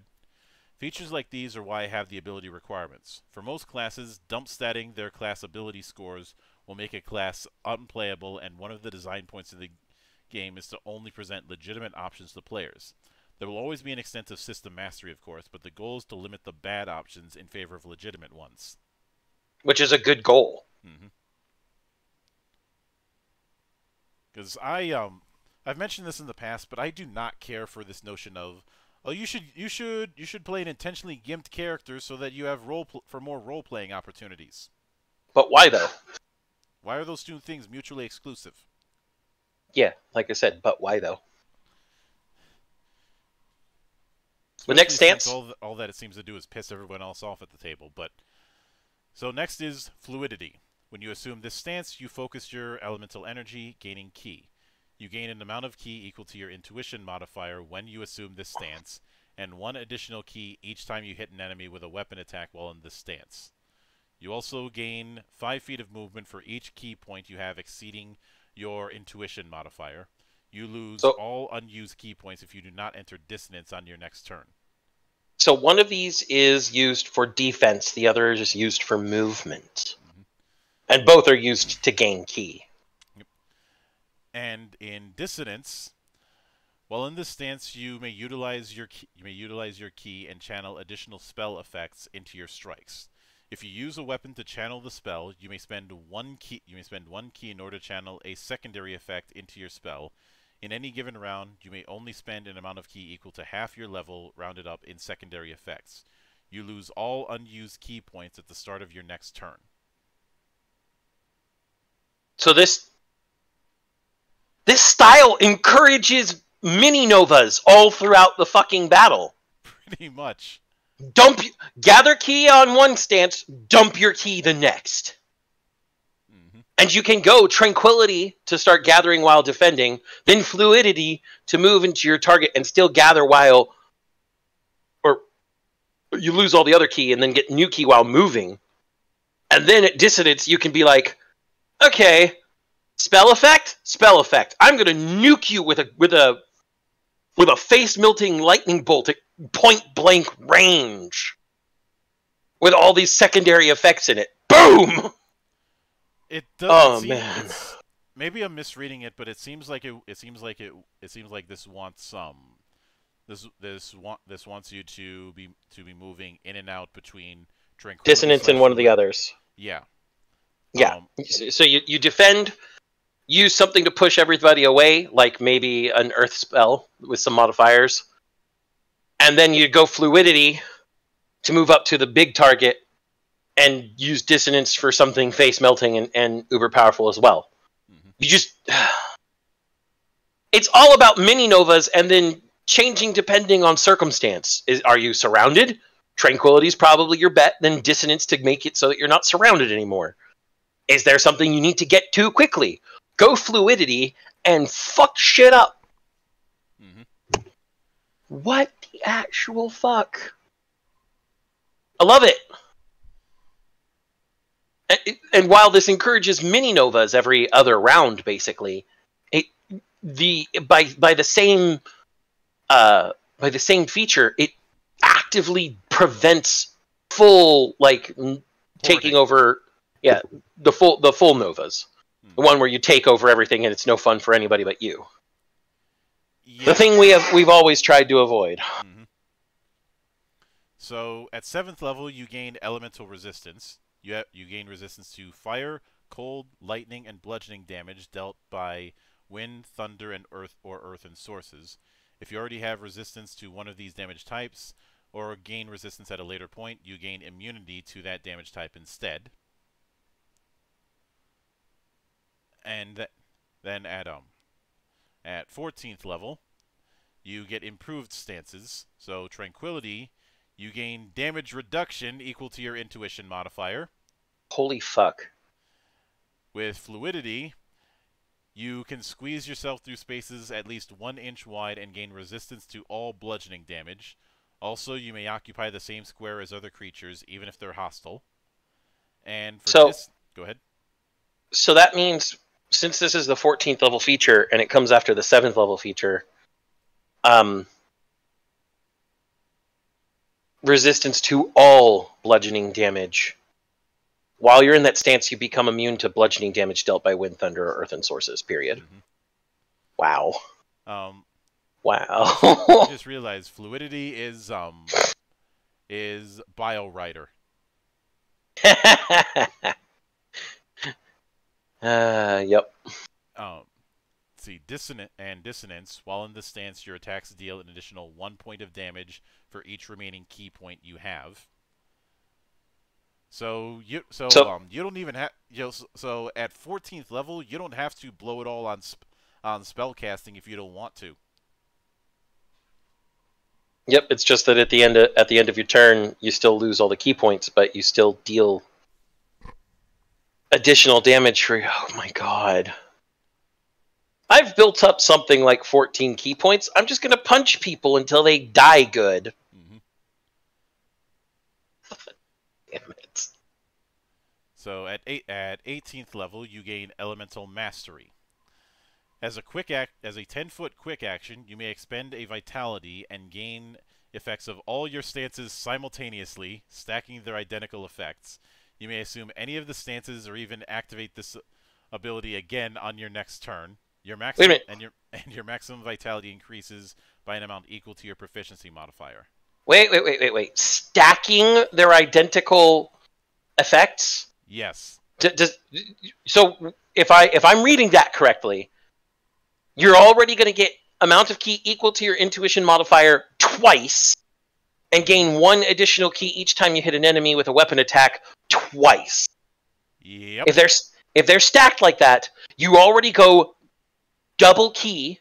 So you already have a ki exceeding your intuition modifier by the amount of your intuition modifier, which means you're going to get in deflection equal to your intuition modifier, additional five feet of movement uh, per point of intuition modifier. What the fuck? That's one hell of a subclass capstone, ain't it? That's. Uh, and then, of course, the maximum vitality increased by an amount equal to your proficiency modifier. What the fuck? I could probably do a drinking game out of the number of times you've said "what the fuck" tonight. Probably do a drinking game of the amount of times I've said "what the fuck" through heavens and heresy thus far. No, I'm. I do not. I do not condone suicide. Hey, hey, now, hey. Straws. It'd be the best. It, it, it, who, who, who, uh, who knows? Maybe they'll find the elixir of life instead. Fuck off, man. they'll they'll go down to zero vitality and then they'll take a drink and they'll be good again. Next is wa- the next one that we have is Way of the Perfected Soul. All things exist in balance, the body, the mind. One cannot exist without the other. A disciple trained in the way of the perfected soul balances all things and achieves martial perfection in the process. So the first one is enlightenment. If one wishes to improve the mind, one must train the body, and if one aims to improve the body, they must train the mind as well. Is that is that before or is that before or after you get you get tossed around by Izumi?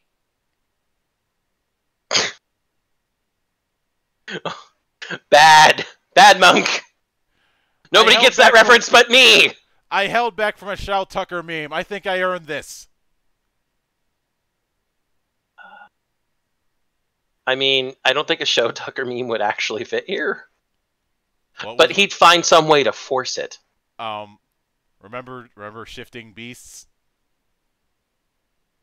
Remember what I said about him just now, saying he'd find a way to force it?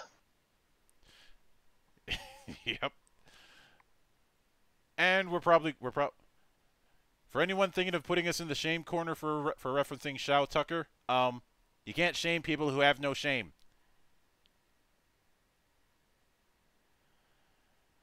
Anyway, what as with the others, you gain you gain three different stances. The first one is stunning strike. While assuming this stance, you gain bonus damage to your attacks equal to intuition, and when you hit an attack, and when you hit with an attack against a creature, you may also inflict stun one on it. So let me. S- so stun. I've got- So could you read off the stunned condition for me, please? Yeah, sure. Hold on. The stunned condition. If a creature is afflicted by the stunned condition, it must roll a d10 at the beginning of its turn. If it rolls a number above the severity, it may move and act normally. If it rolls a number equal to or below the severity of the condition afflicting it, it incurs the following effects and removes the severity of the stun condition equal to its fortitude. It cannot move, utilize its action or reaction, and may only speak in faltering mumbles. Attacks which target the creature's strength or dexterity defense automatically hit, and other attacks against the creature are made with advantage.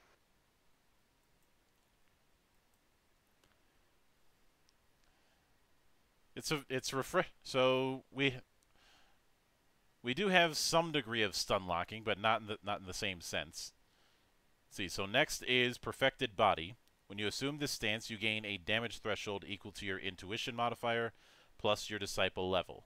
The creature has immunity to all damage unless it takes an unless it takes an amount of damage equal to or greater than its damage threshold, in which case it takes damage as normal. Any damage that fails to meet or exceed the damage threshold is considered superficial and doesn't reduce the creature's hit points.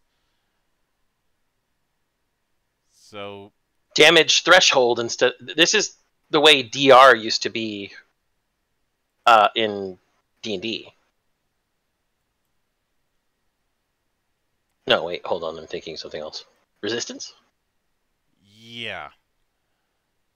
The fact that resistance and reduction are both written as DR is confusing. Yes. Yes. So you have to exceed that number, or you do no damage. Mhm. That's then- that's actually pretty powerful level one.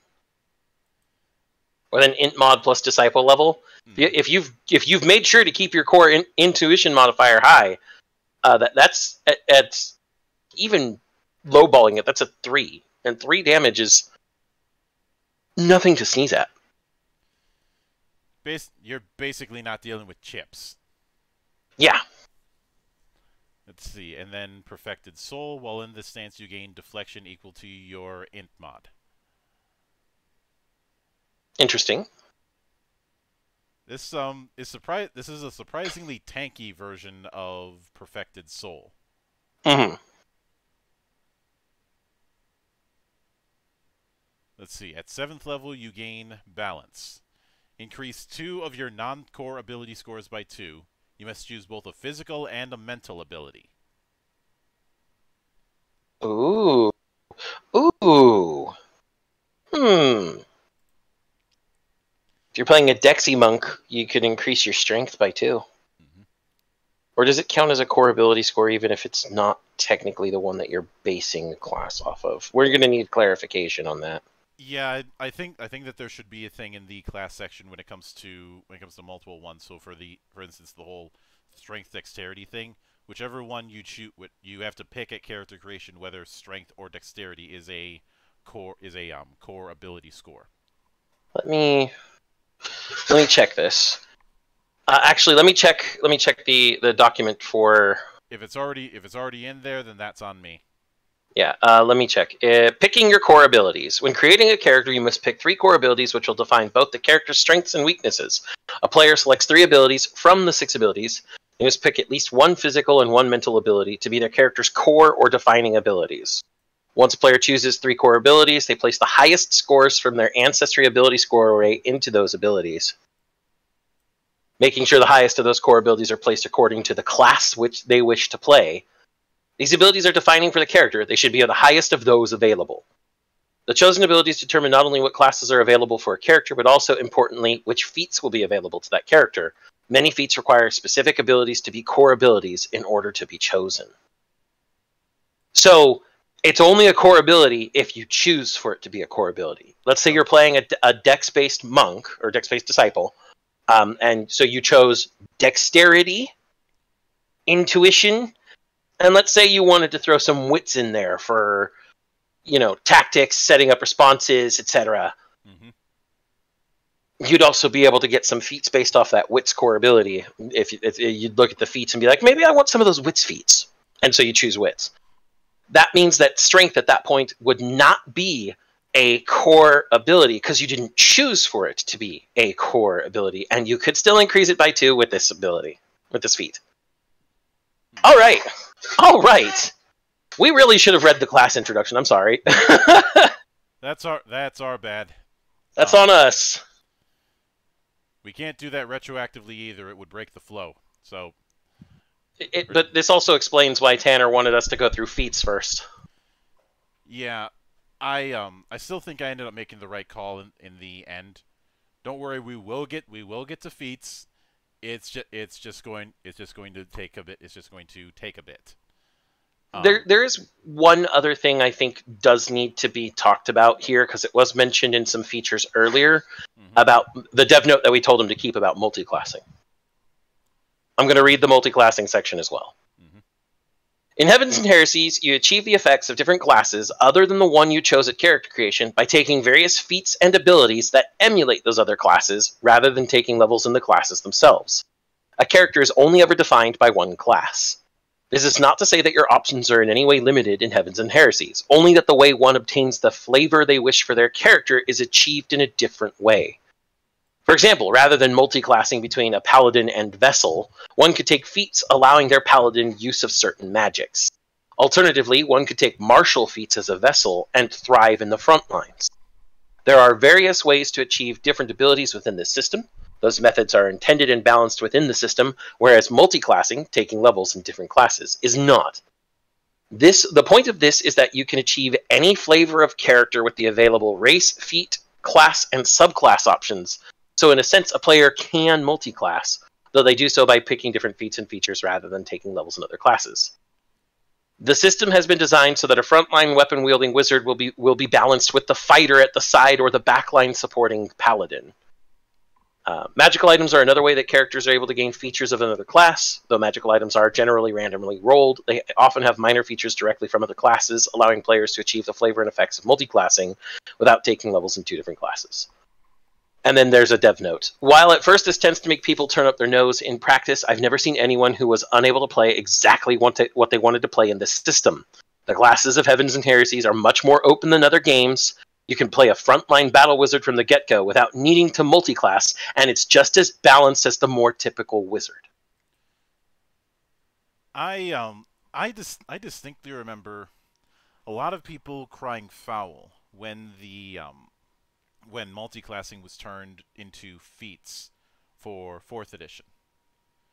Um, and I had I had arg- I had argued that I was that I was perfectly fine with it because your um your feat slots are still are still are still fairly limited, so you are you are taking some degree of a disadvantage by, mm-hmm. by doing this but you're not go you're not going through all the um all the all the roundabout route that you had to do the um as we've talked about pay to not suck kind of thing because that's always been a problem with that with that notion of multi-classing into different um levels where you end up you end up having to end up having to start at that at that second class from scratch and can't really do the ability integration and synergy that you want until several levels into it, and um, by that by that by the point that you do it, you um you might be you might just end up getting outclassed by your by your single class compatriots.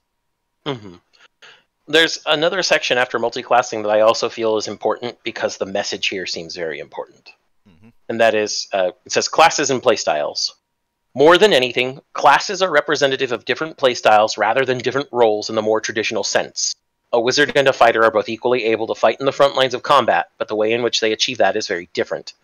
In the same way, an inquisitor can be played as a paragon of martial prowess or as a stealth figure, hiding in the shadows and gaining information. What is more, these options should be balanced with one another. Heavens and Heresies seeks to reward players for the choices they make, rather than expecting them to fall into a certain pattern of, pattern of play options which are equally available to the player should be equally viable. And then in the dev note, for the classes, one thing I'm considering is giving them some more ASI and uh, plus two to class ability score at four, another t- two to class ability score at 12, and another two at a class ability at 19. But I'm waiting for a few more play tests before that. If I did do that, it would have some restrictor so that people didn't put all six into one stat because that's kind of lame. I this this game ethos is fantastic. And again this reflects what we're doing with ff legend projects mm-hmm. that that all things need to be equally viable and fun so that nobody feels pigeonholed. Yeah and granted with ff legend there are um there are some builds that that i had put in simply to be simply to be um setting appropriate gags like say the like say the merchant track. Yeah but even then that should be viable and it will be that's that's something that you can look forward to from us. Yeah. That the things that we're going to do with what we're doing, and this is ours is much less baked than Tanner's work here, and Tanner's a one man band, so kudos. uh, what we're doing, the, the I think the best way to say it is the ethos that we both have with game design in general is is everybody should be able to make the choices they want to make without severely impacting everyone else. Everyone should be having fun with the choices that they're making. Mm-hmm. Okay. Move now. Moving right along, getting back on the rails. Um, at 14th level, we have the improved stances. So, the perfected soul stances improve in the following ways: Stunning strike inflicts an additional severity of stun when you strike an enemy. So it's severity two instead of one for stun. I, it, so is that each time you strike the enemy, though? Does it stack? That's what I want to know. We need some clarification there. I'm guessing that it doesn't, but yeah, that is that should be clarified. Um, perfected body.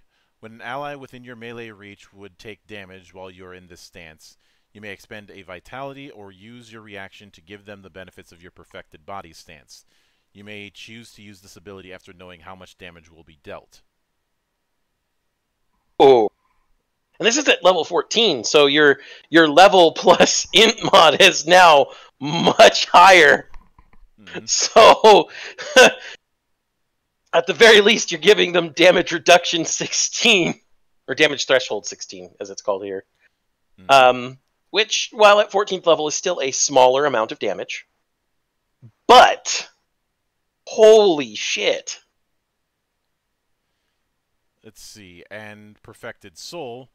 When, it, when an ally within your melee reach would be hit by an attack while you are in this stance, you may either expend a vitality or you or use your reaction to give them the benefits of your perfected soul stance. This this um is putting into context why at higher levels you could dole out you could um get more reactions. Yeah, so you can use your reaction to give people stuff. Mm-hmm. Let's see, and now we know why the core abilities are the way they are. Yep. They intertwine with your with your subclass abilities, and that is fantastic. Mm-hmm. Um, at 18th level, you gain Perfected Soul and increase all of your ability scores by two. What?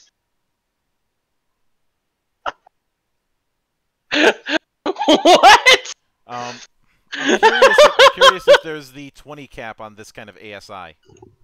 I I don't see it, so I'm guessing no.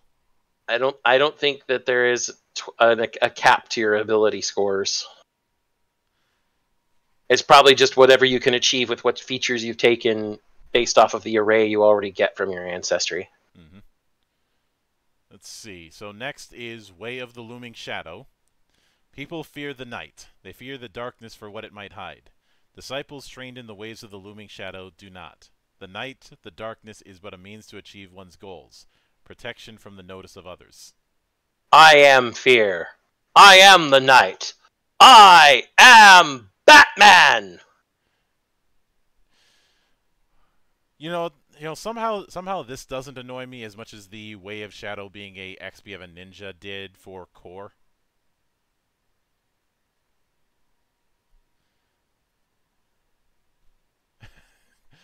I see. I see what you did. I see what you did there. Um, I had to. It was so, bugging me. so, so um, first it. So first we have shadow arts. Once again, three. Once again, three stances. So the first is Shadow's Bite. When you assume this stance, you gain bonus damage to your attacks equal to your intuition modifier. In addition, when you hit with a weapon attack against a creature, it becomes blinded 1. So blinded uh, is it's it's blinded was part of hidden essentially. Um, for each severity of this condition affecting a creature, creatures which attempt to perceive or attack the creature increase the chance that they will automatically fail the roll by one, from one to four to one to five on an attack roll, or to one uh, for an ability check, for example. Mm-hmm. So it increases their fail range by one. All right. Well, by one per severity of the condition. Imagine if you could inflict blinded 10. Don't give him ideas. I mean, there's probably a way to do it. I, I imagine a flashbang grenade would. Yep. So you so you want to literally blind them by the light. Blinded by the light. So next is Dance of Life and Death. When you hit a threatening creature with a weapon attack while in this stance, you may have your attack deal physical or poison damage rather than its normal damage, and gain a number of hit points equal to your intuition modifier as a result. Life leech and affliction damage? Or at least physical or poison damage? hmm Wow! Wow! Imagine pairing up this guy with the with the uh with the the way the way of shi of shifting beasts. Let's see. Ne- next is Shadow Step. While in this stance, you gain the ability to step from one shadow into another. When you have when you have severity of the hidden condition caused by darkness, rather than moving, you can teleport up to your movement speed to an unoccupied space that you can see that is also affected by the hidden condition caused by darkness. The amount the total amount of space you teleport is subtracted from your movement. It's it it the name is literal. Shadow step. hmm If I'm in one shadow and I can see another shadow within my movement range, I can just go to that shadow. That's literally what that is. Let's see, you also gain dark vision. If non-magical darkness would render something as hidden from you, you may ignore, ignore up to 4 severity of that condition. If you already have dark vision from another feature, you may ignore up to 6 severity rather than 4. Why do I feel that the Way of the Looming Shadow was created by dwarves? Dwarven ninjas, there's a horrifying thought. Horrifying. It's it's common. What are you talking about? There's dwarven ninjas everywhere, man. Yeah, yeah, yeah, I am 10 ninjas that you can't see. So, seventh at 7th level, you gain the Long Death. When you are reduced to 0 hit points, you may expend 1 vitality, no action required, to be reduced to 1 hit point instead.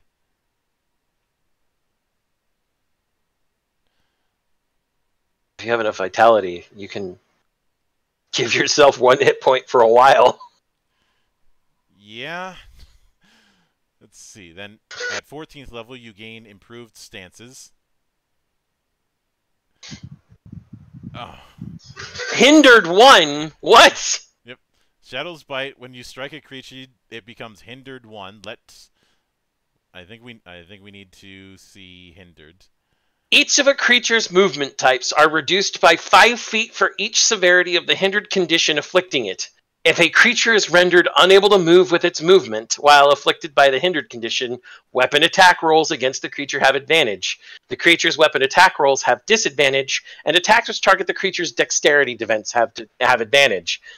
Wait, does this mean if you have double advantage if you're a dexterity-based monk using unarmed weapon strikes? Since it would be based in your dex as your combat uh, uh, core ability. And remember, this is the one where if they use their dash action, it can overcome the hindered condition. Mhm. If the hindered condition would make it unable to move. Yep. Yeah. So, so now not only have you blinded them one, you've hindered them one. They have disadvantage to hit you anyway. And imagine if your hindered one took them to a point where they couldn't move. Does that give them double attack disadvantage?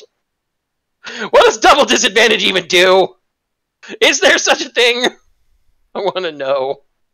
I need I'm- to know. One part of me wants to know. The other part is terrified at the prospect. I want to know. Please, Tanner, give me enlightenment. And the um, next we have um, Dance of Life and in, with Dance of Life and Death. Your weapon attacks deal additional damage equal to your intuition modifier, and remember that c- that that counts as poison damage that leeches. Yeah. Yeah. Damn it. And Shadow Step, when you teleport using your Shadow Step ability, you then have advantage on the first weapon attack you make before the end of your turn. In other words, surprise, motherfucker. Surprise, motherfucker. There you go. My best imitation uh, of Coat. And the capstone at 18th level is Cloak of Shadows. If you would be hidden by darkness, you may double the severity of the hidden condition granted to you by that darkness. In addition, all darkness is considered magical darkness for the purposes of concealing you. You are always considered to be hidden by an amount equal to your intuition modifier. This does not count as being hidden by darkness. You are always invisible. I, I, I want to read the next one. I, I'm I'm looking at it and I want I want to read it. Can I read it, Mark, please? Before, the, before that, let me just reflect. Let me just reflect on the absurdity at 18th level here. I'm always hidden, and then if I hide in, in darkness, I I can double the hidden condition granted by the dark magical. It's magical darkness. Only where I am, though. Fuck you for anybody else. This Two. also, this also this also means that you can that um you have an easy escape when it comes to using Shadow Step. Because it's magical darkness, yeah. Is no matter where you, no matter where you are, you're still you're still in shadow, so you can jump to another shadow you can see. As long as it's with as long as you have enough movement for it. Yeah. It's just that uh, remember if you're in if you're not standing in a shadow, your your hidden that's equal to your int mod is not being hidden by, by darkness. So it's Yeah. not shadow stepping from bright light. But then then we have the I want Go ahead. I This is the way of the entering fist. The description of this subclass. I made this class wrong as a joke. I understood that reference. So did I. Says this archetype won't uh, won't appear in the published game, but it's probably the best one I've ever written. Okay, let's see what we've got. First Yeah. is otherworldly training. If you If they have an ass, you'll kick it. see, you're granted three different stances. First is face to foot style. When a creature when when a creature would deal damage to you while in this stance, you may use your reaction to cause both yourself and the creature to take damage equal to your intuition modifier. um, is that fetal or fe- no? It is fetal defense. While prone, you gain damage reduction equal to your intuition modifier, and enemies do not have advantage on melee attacks against you. It's curling up on the ground in a ball. And special step: when you assume this stance, you have disadvantage on ability skull skullduggery checks to avoid being heard, but allies within five feet of you have advantage on ability skullduggery checks to avoid being heard.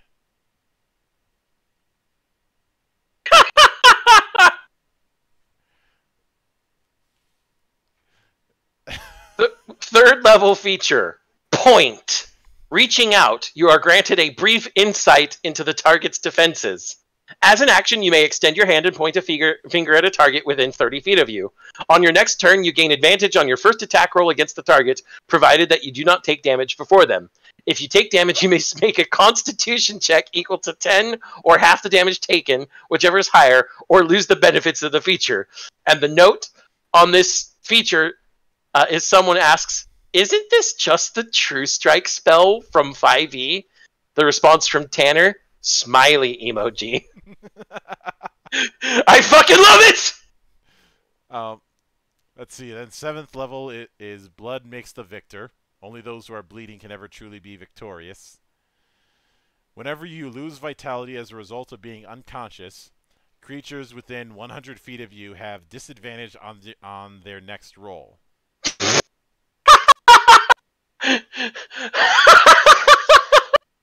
You're unconscious and bleeding, but they have disadvantage. Every creature. This includes your allies. What the hell? 11th, 11th level. I'm a man too, you know. I go pee pee standing up. That's the that's the description of this of this feature, by the way. I go pee standing up as the flavor text. You may choose to roll an ability persuasion check with disadvantage in order to give yourself a plus one bonus to the roll. What? Hold on, hold on. Let me let me let me say this meme correctly. What? What the fuck?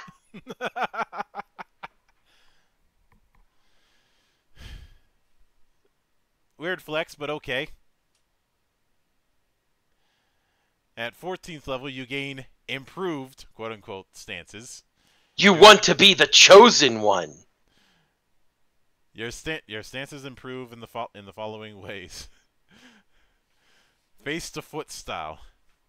When you when you use your reaction and cause both yourself and the and the attacking creature to take damage, you may increase that damage by an amount equal to your level at 14th level. Fetal defense. When you take damage while in this stance, you may expend your reaction in order to fall prone. Since falling prone is what gives you all the special stuff in the in the defense in the first place. Says There's a note from one of There's a note here from one of the playtesters. But falling prone is a quick action five feet. Starting to think you don't take this subclass seriously. Um, I don't think this person got the joke. Either either that or they're just rolling with it. Might be. But um this actually this actually is an improvement over falling prone as a quick action five feet. Because it's using your reaction instead hmm when taking damage. Uh, If you call having to take damage to activate something as an improvement. Jury's out on that. Read that special. I and special okay, step. If you move more than 20 feet in one continuous movement while in this stance, make a skill attack on each creature within 100 feet of you targeting their intuition. On a hit, you distract enemies within 100 feet of you by an amount equal to your intuition modifier. now hold on. You said a skill attack on each creature, hmm but then distract enemies. Do you mean to put creatures there so it's even funnier and you're still distracting your allies too? Just like you do with the other stuff? hmm I, uh, I also like that the that the guy who pointed out the true true strike spell also says, "I think this is coming too close to being good. Might need a nerf." Winking emoji. And the eight and 18th level is United We Fall. If you are going to fall, you are going to bring other with you. If an attack were to hit you and creatures within 60 feet are affected by the same attack, they are also hit by the atta- they're also hit by the attack regardless of their defense. So if you're being cleaved by a dragon and the attack hits you, everybody else near you gets hit too.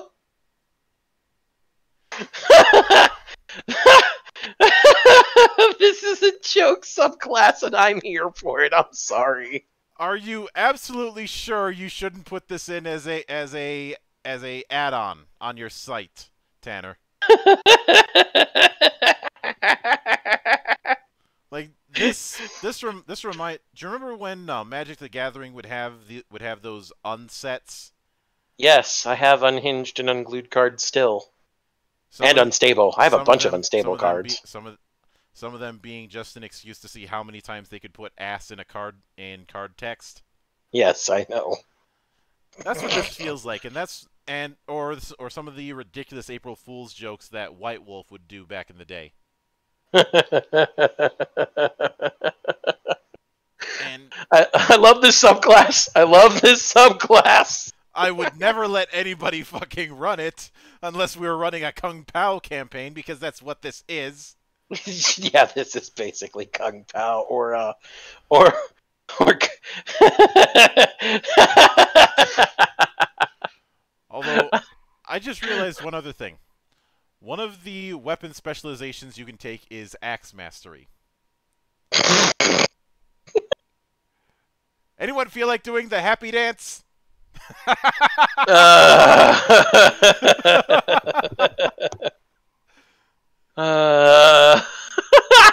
I love I love this last subclass just for how fucking hilarious it is. That's why that's why I'm saying we can't we can't let this um we can't let the we can't let this one um just disappear when the game goes gold. This has to be on the website or something like that.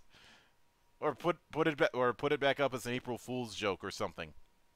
Give it its own page in the book with a completely different look from a different like themed uh core rulebook of some sort.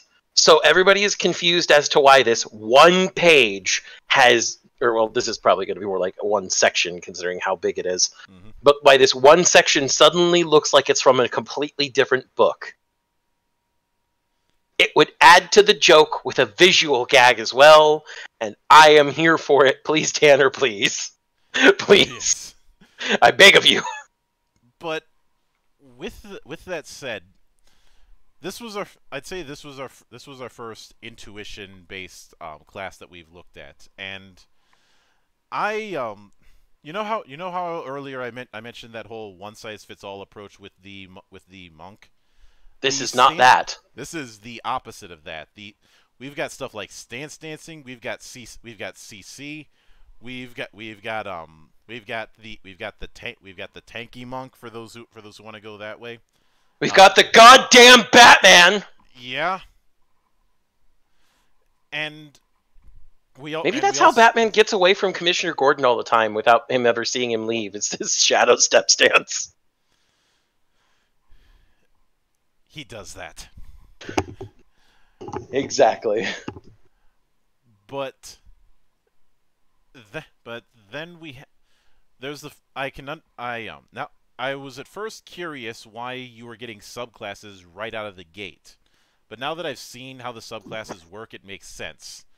Um this I is this is a lot what I what I find in what I find interesting with this compared to the class subclass relationship in say 5e Mhm. is the class features for a lot of classes in core are fairly vanilla and where the Yeah. interesting part is going to be the subclass but most of the time that subclass feels very divorced from the um, core abilities that's not the case here there is an intrinsic synergy especially with all the extra fucking reactions. First, we were thinking four extra reactions, and you can share them. What the hell? hmm And then we saw there are so many reaction-based things in this. Uh... Hey, wait! You have four reaction. You have uh, at least three react, uh, three total uh, extra reactions uh, from a at 14th level. That means you could fall prone and still do other things. With way of entering fist. Are you in? Like, like I said, I don't. I know you. I know it was a joke, but I do understand why you consider that your best subclass, at least so far. But we can't. But don't um. Don't let that thing be forgotten, please.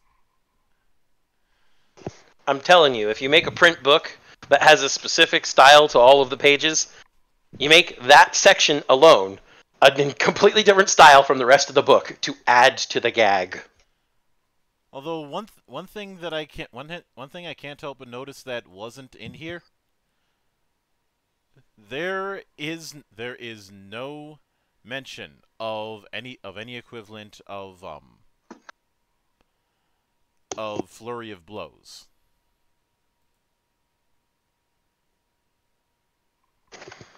Might not be necessary.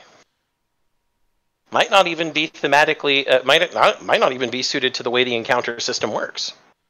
Probably probably not, especially especially since um for all intents and purposes, flurry of blows is still um is is is just is just attacking more than once around.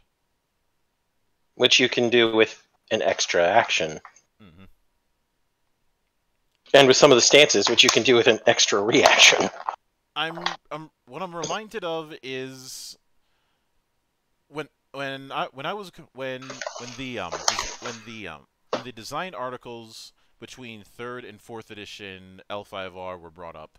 One of the things that they mentioned that they were that they were changing was ha- was for a lot of the um, Bushi schools at the Mhm. hi- at the higher tiers in third edition. They had it where you could where you could take one attack action for free. Mhm.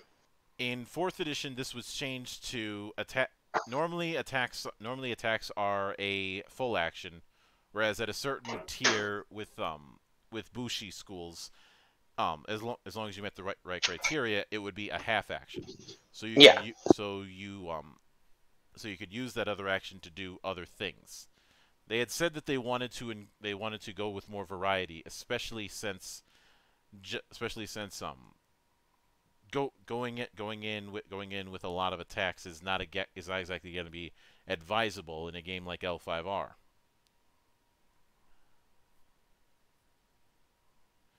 Um, and because of because of that,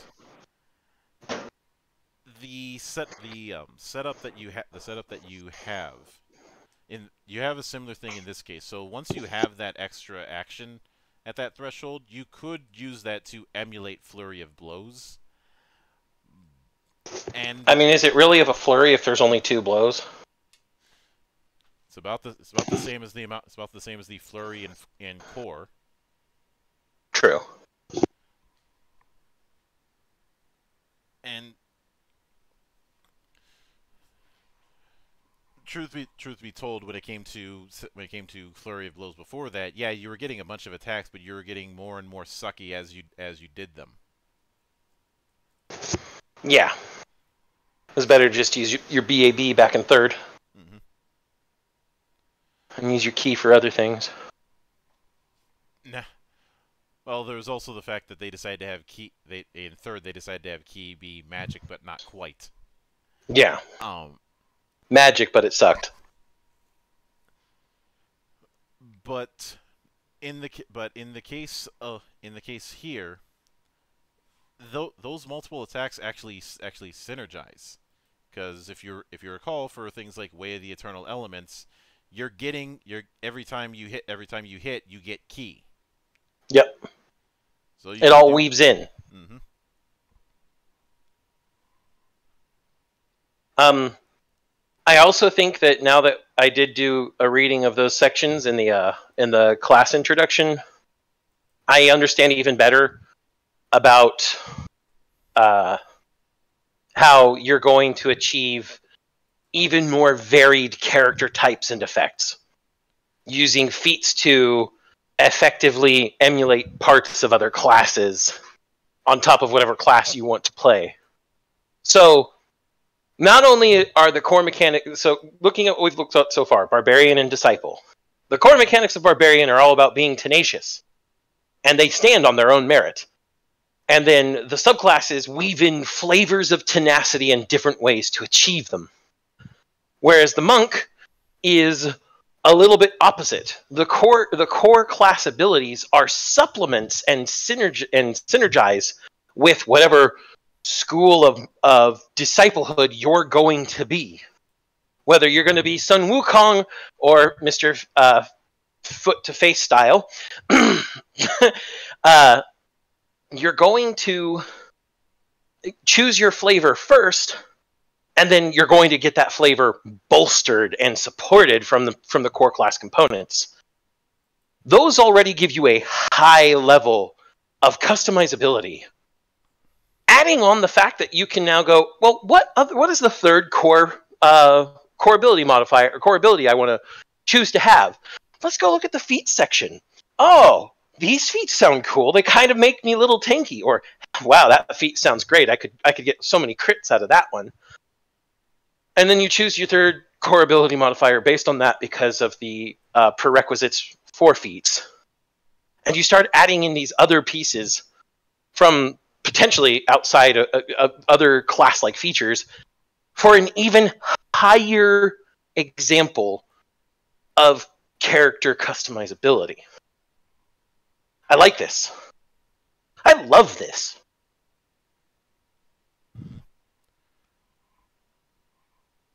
Customizability is everybody out there who watches this, you're likely a gamer in some respect customizability that matters is the spice of life and you all know it Yeah, which is which is, uh, which is which is why I've um, I've I've poked I've poked fun I've poked fun at the um simplicity defense when it comes to core. Huh. That's not to say I'm opposed to to get to game mechanics being simple, but I don't like it as a um defense. i mean hell uh, what we're doing with ff legend has a lot of simplification on it we've simplified a lot of things Yeah, but for us for us it's for, in both cases it's less of simplification and more of trimming the trimming the fat to away from um, what's gon- what's going to be useless. and, and, yep, and also uh, um, you know flair for the type of thing we're achieving Uh, and it's clear that Tanner's doing the same with Heavens and Heresies. Mhm. Very clear. Uh, I uh, like I said, I, I, I can't help but compare to FF Legend at this point because we have a we we basically have the same design ethos of make everything viable so it's always fun. Mm-hmm. Just Even- we're even doing if the, even if the fun gets a little bit um, ridiculous. campy, hammy. Are we all going to chew on the scenery? Probably. Chewing on the scenery is half the fun. Come on now, guys. Mhm. You see how I act when we're doing all this? Yeah. You think I'm any different than when we're not in person? I always I always find it I always find it cute when there's the whole adage of of of of the whole oh you oh you're on- you're only acting that way because you're online. Nope. This is we Zan and I Zan and I act the exact same way no matter no matter whether we're whether we're online or off. I can attest to this for Monk. Monk can attest to this for me. And some fine, lovely people we met at Cowtown can attest to this for both of us. hmm So we are who we are. You have us here now. Uh, we don't care if you don't like us. We just, But- just if you don't like us, we just keep we'll just keep we don't care because we just keep laughing at you. Mm-hmm. Um, And so with with all of that in mind, uh, I Monk, I want to do more, but I gotta wait till next week. well, um, next week next week we're going to be tackling our first casting class. Because next next week, have you solved the mystery of the Druids? no, no, Dwoods. Gotta find the Dwoods. Through the magic of the Druids. I have I have high hopes. Um, I'm sure we'll see flavors that are staples of the druid class, though iterated in an entirely different fashion than what I we've seen before. I don't think we're going to be getting Godzilla next week. Unless it, unless you manage to turn into a 50 story fish, but that's a different story. But Yeah.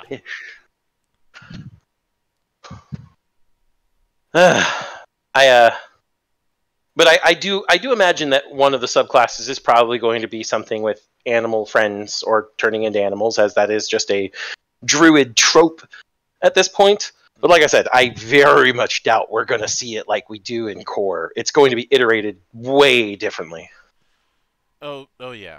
Um, As for as for the way that I have to feel, since the monk is a, a grab bag of different flavors, um, I'm gonna I'm gonna do my my flavor assessment like I did with barbarian, except this time I have to do it in reverse because barbarian had a very distinct core ideal with flavors. This the flavors are the core ideals. So, starting at the way of the laughing monkey. We've already said it, everybody. This is Sun Wukong in all but name. Um, I mean, you don't have his fire powers, but that's it's hardly, hardly, uh, hardly the uh, the primary thing he's known for. The primary thing he's known for is being tricky, um, being able to teleport in a single fucking somersault. I can go tw- 120,000 li in a single somersault a li being half a kilometer, so um and making doppelgangers. hmm So the the whole making doppelgangers and teleporting around, yeah, that's all Sun Wukong. Uh, Way of the Shifting Beasts.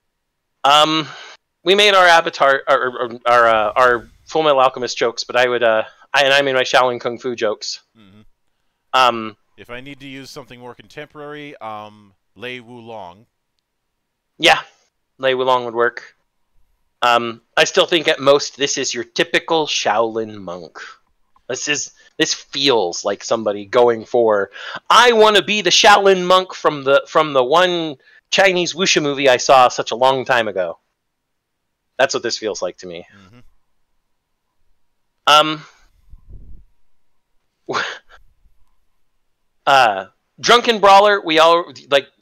there there's nothing more. We already said the, the one of the eight Taoist immortals, the the drunken immortal.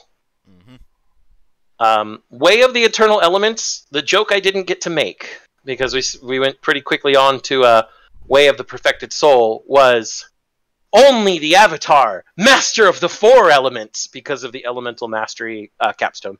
hmm Um, Way of the Perfected Soul uh, is very much Buddhist fighting monks. You synergize heart, body, and spirit in order to, uh, in order to perfect yourself. And in the event that you need to fight, well, you fight in that synergistic way. I was Way of the Looming- Either, I was gonna go with either that or um, Royal Guard style. Royal Guard. Okay, got it. Um, way of the Batman. I mean, Looming Shadow. hmm It's Batman. It's fucking Batman. At the very, And then at if- the very least, this is this is go this is going on. I think the reason why late why Looming Shadow didn't annoy me is that it's going all in on the shadow manipulation thing instead of trying to be a not instead of trying to be a not ninja. Yeah. And then, even though it's a joke class, even though uh, it probably won't be in base, Way of the Entering Fist, we already said it. Kung Pow. Mhm. I mean, it's in the name of the fucking class. It's either Kung Pow or I was gonna say it's Kung Fu Hustle, but no, not re- not really. Well, it says Way of the Entering Fist. Kung Pow, enter the fist. Yeah.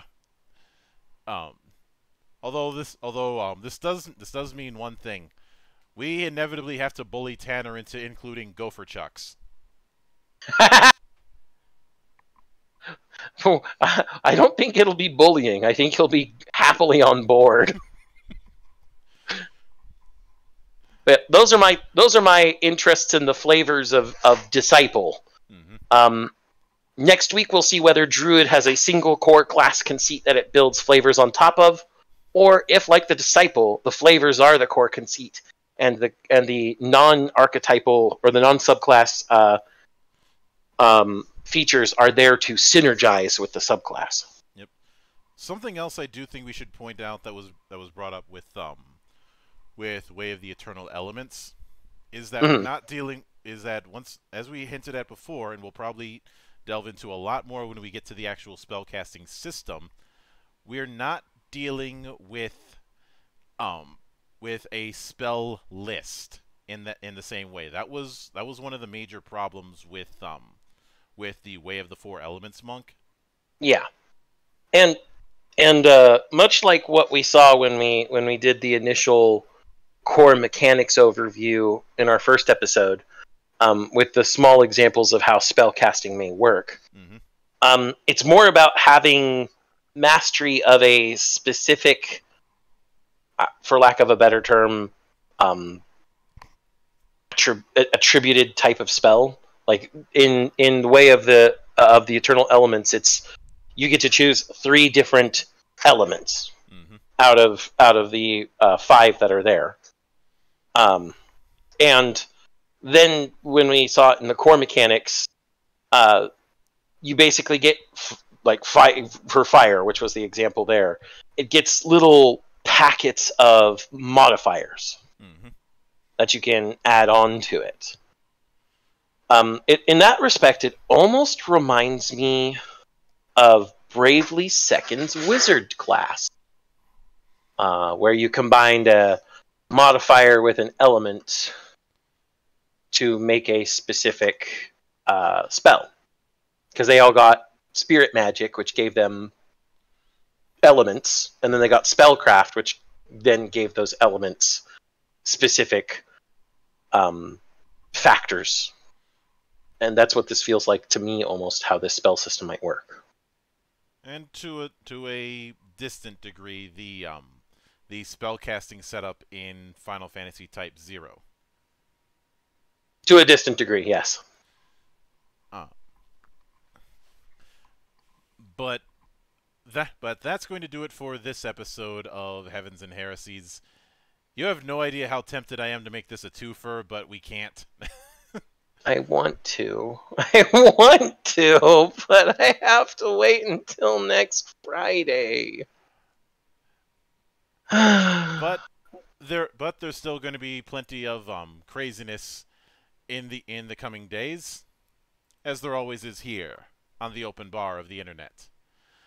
But until then on behalf of the good brothers present and not present my name is mildra. I am your gaming monk. Stay fucking frosty everybody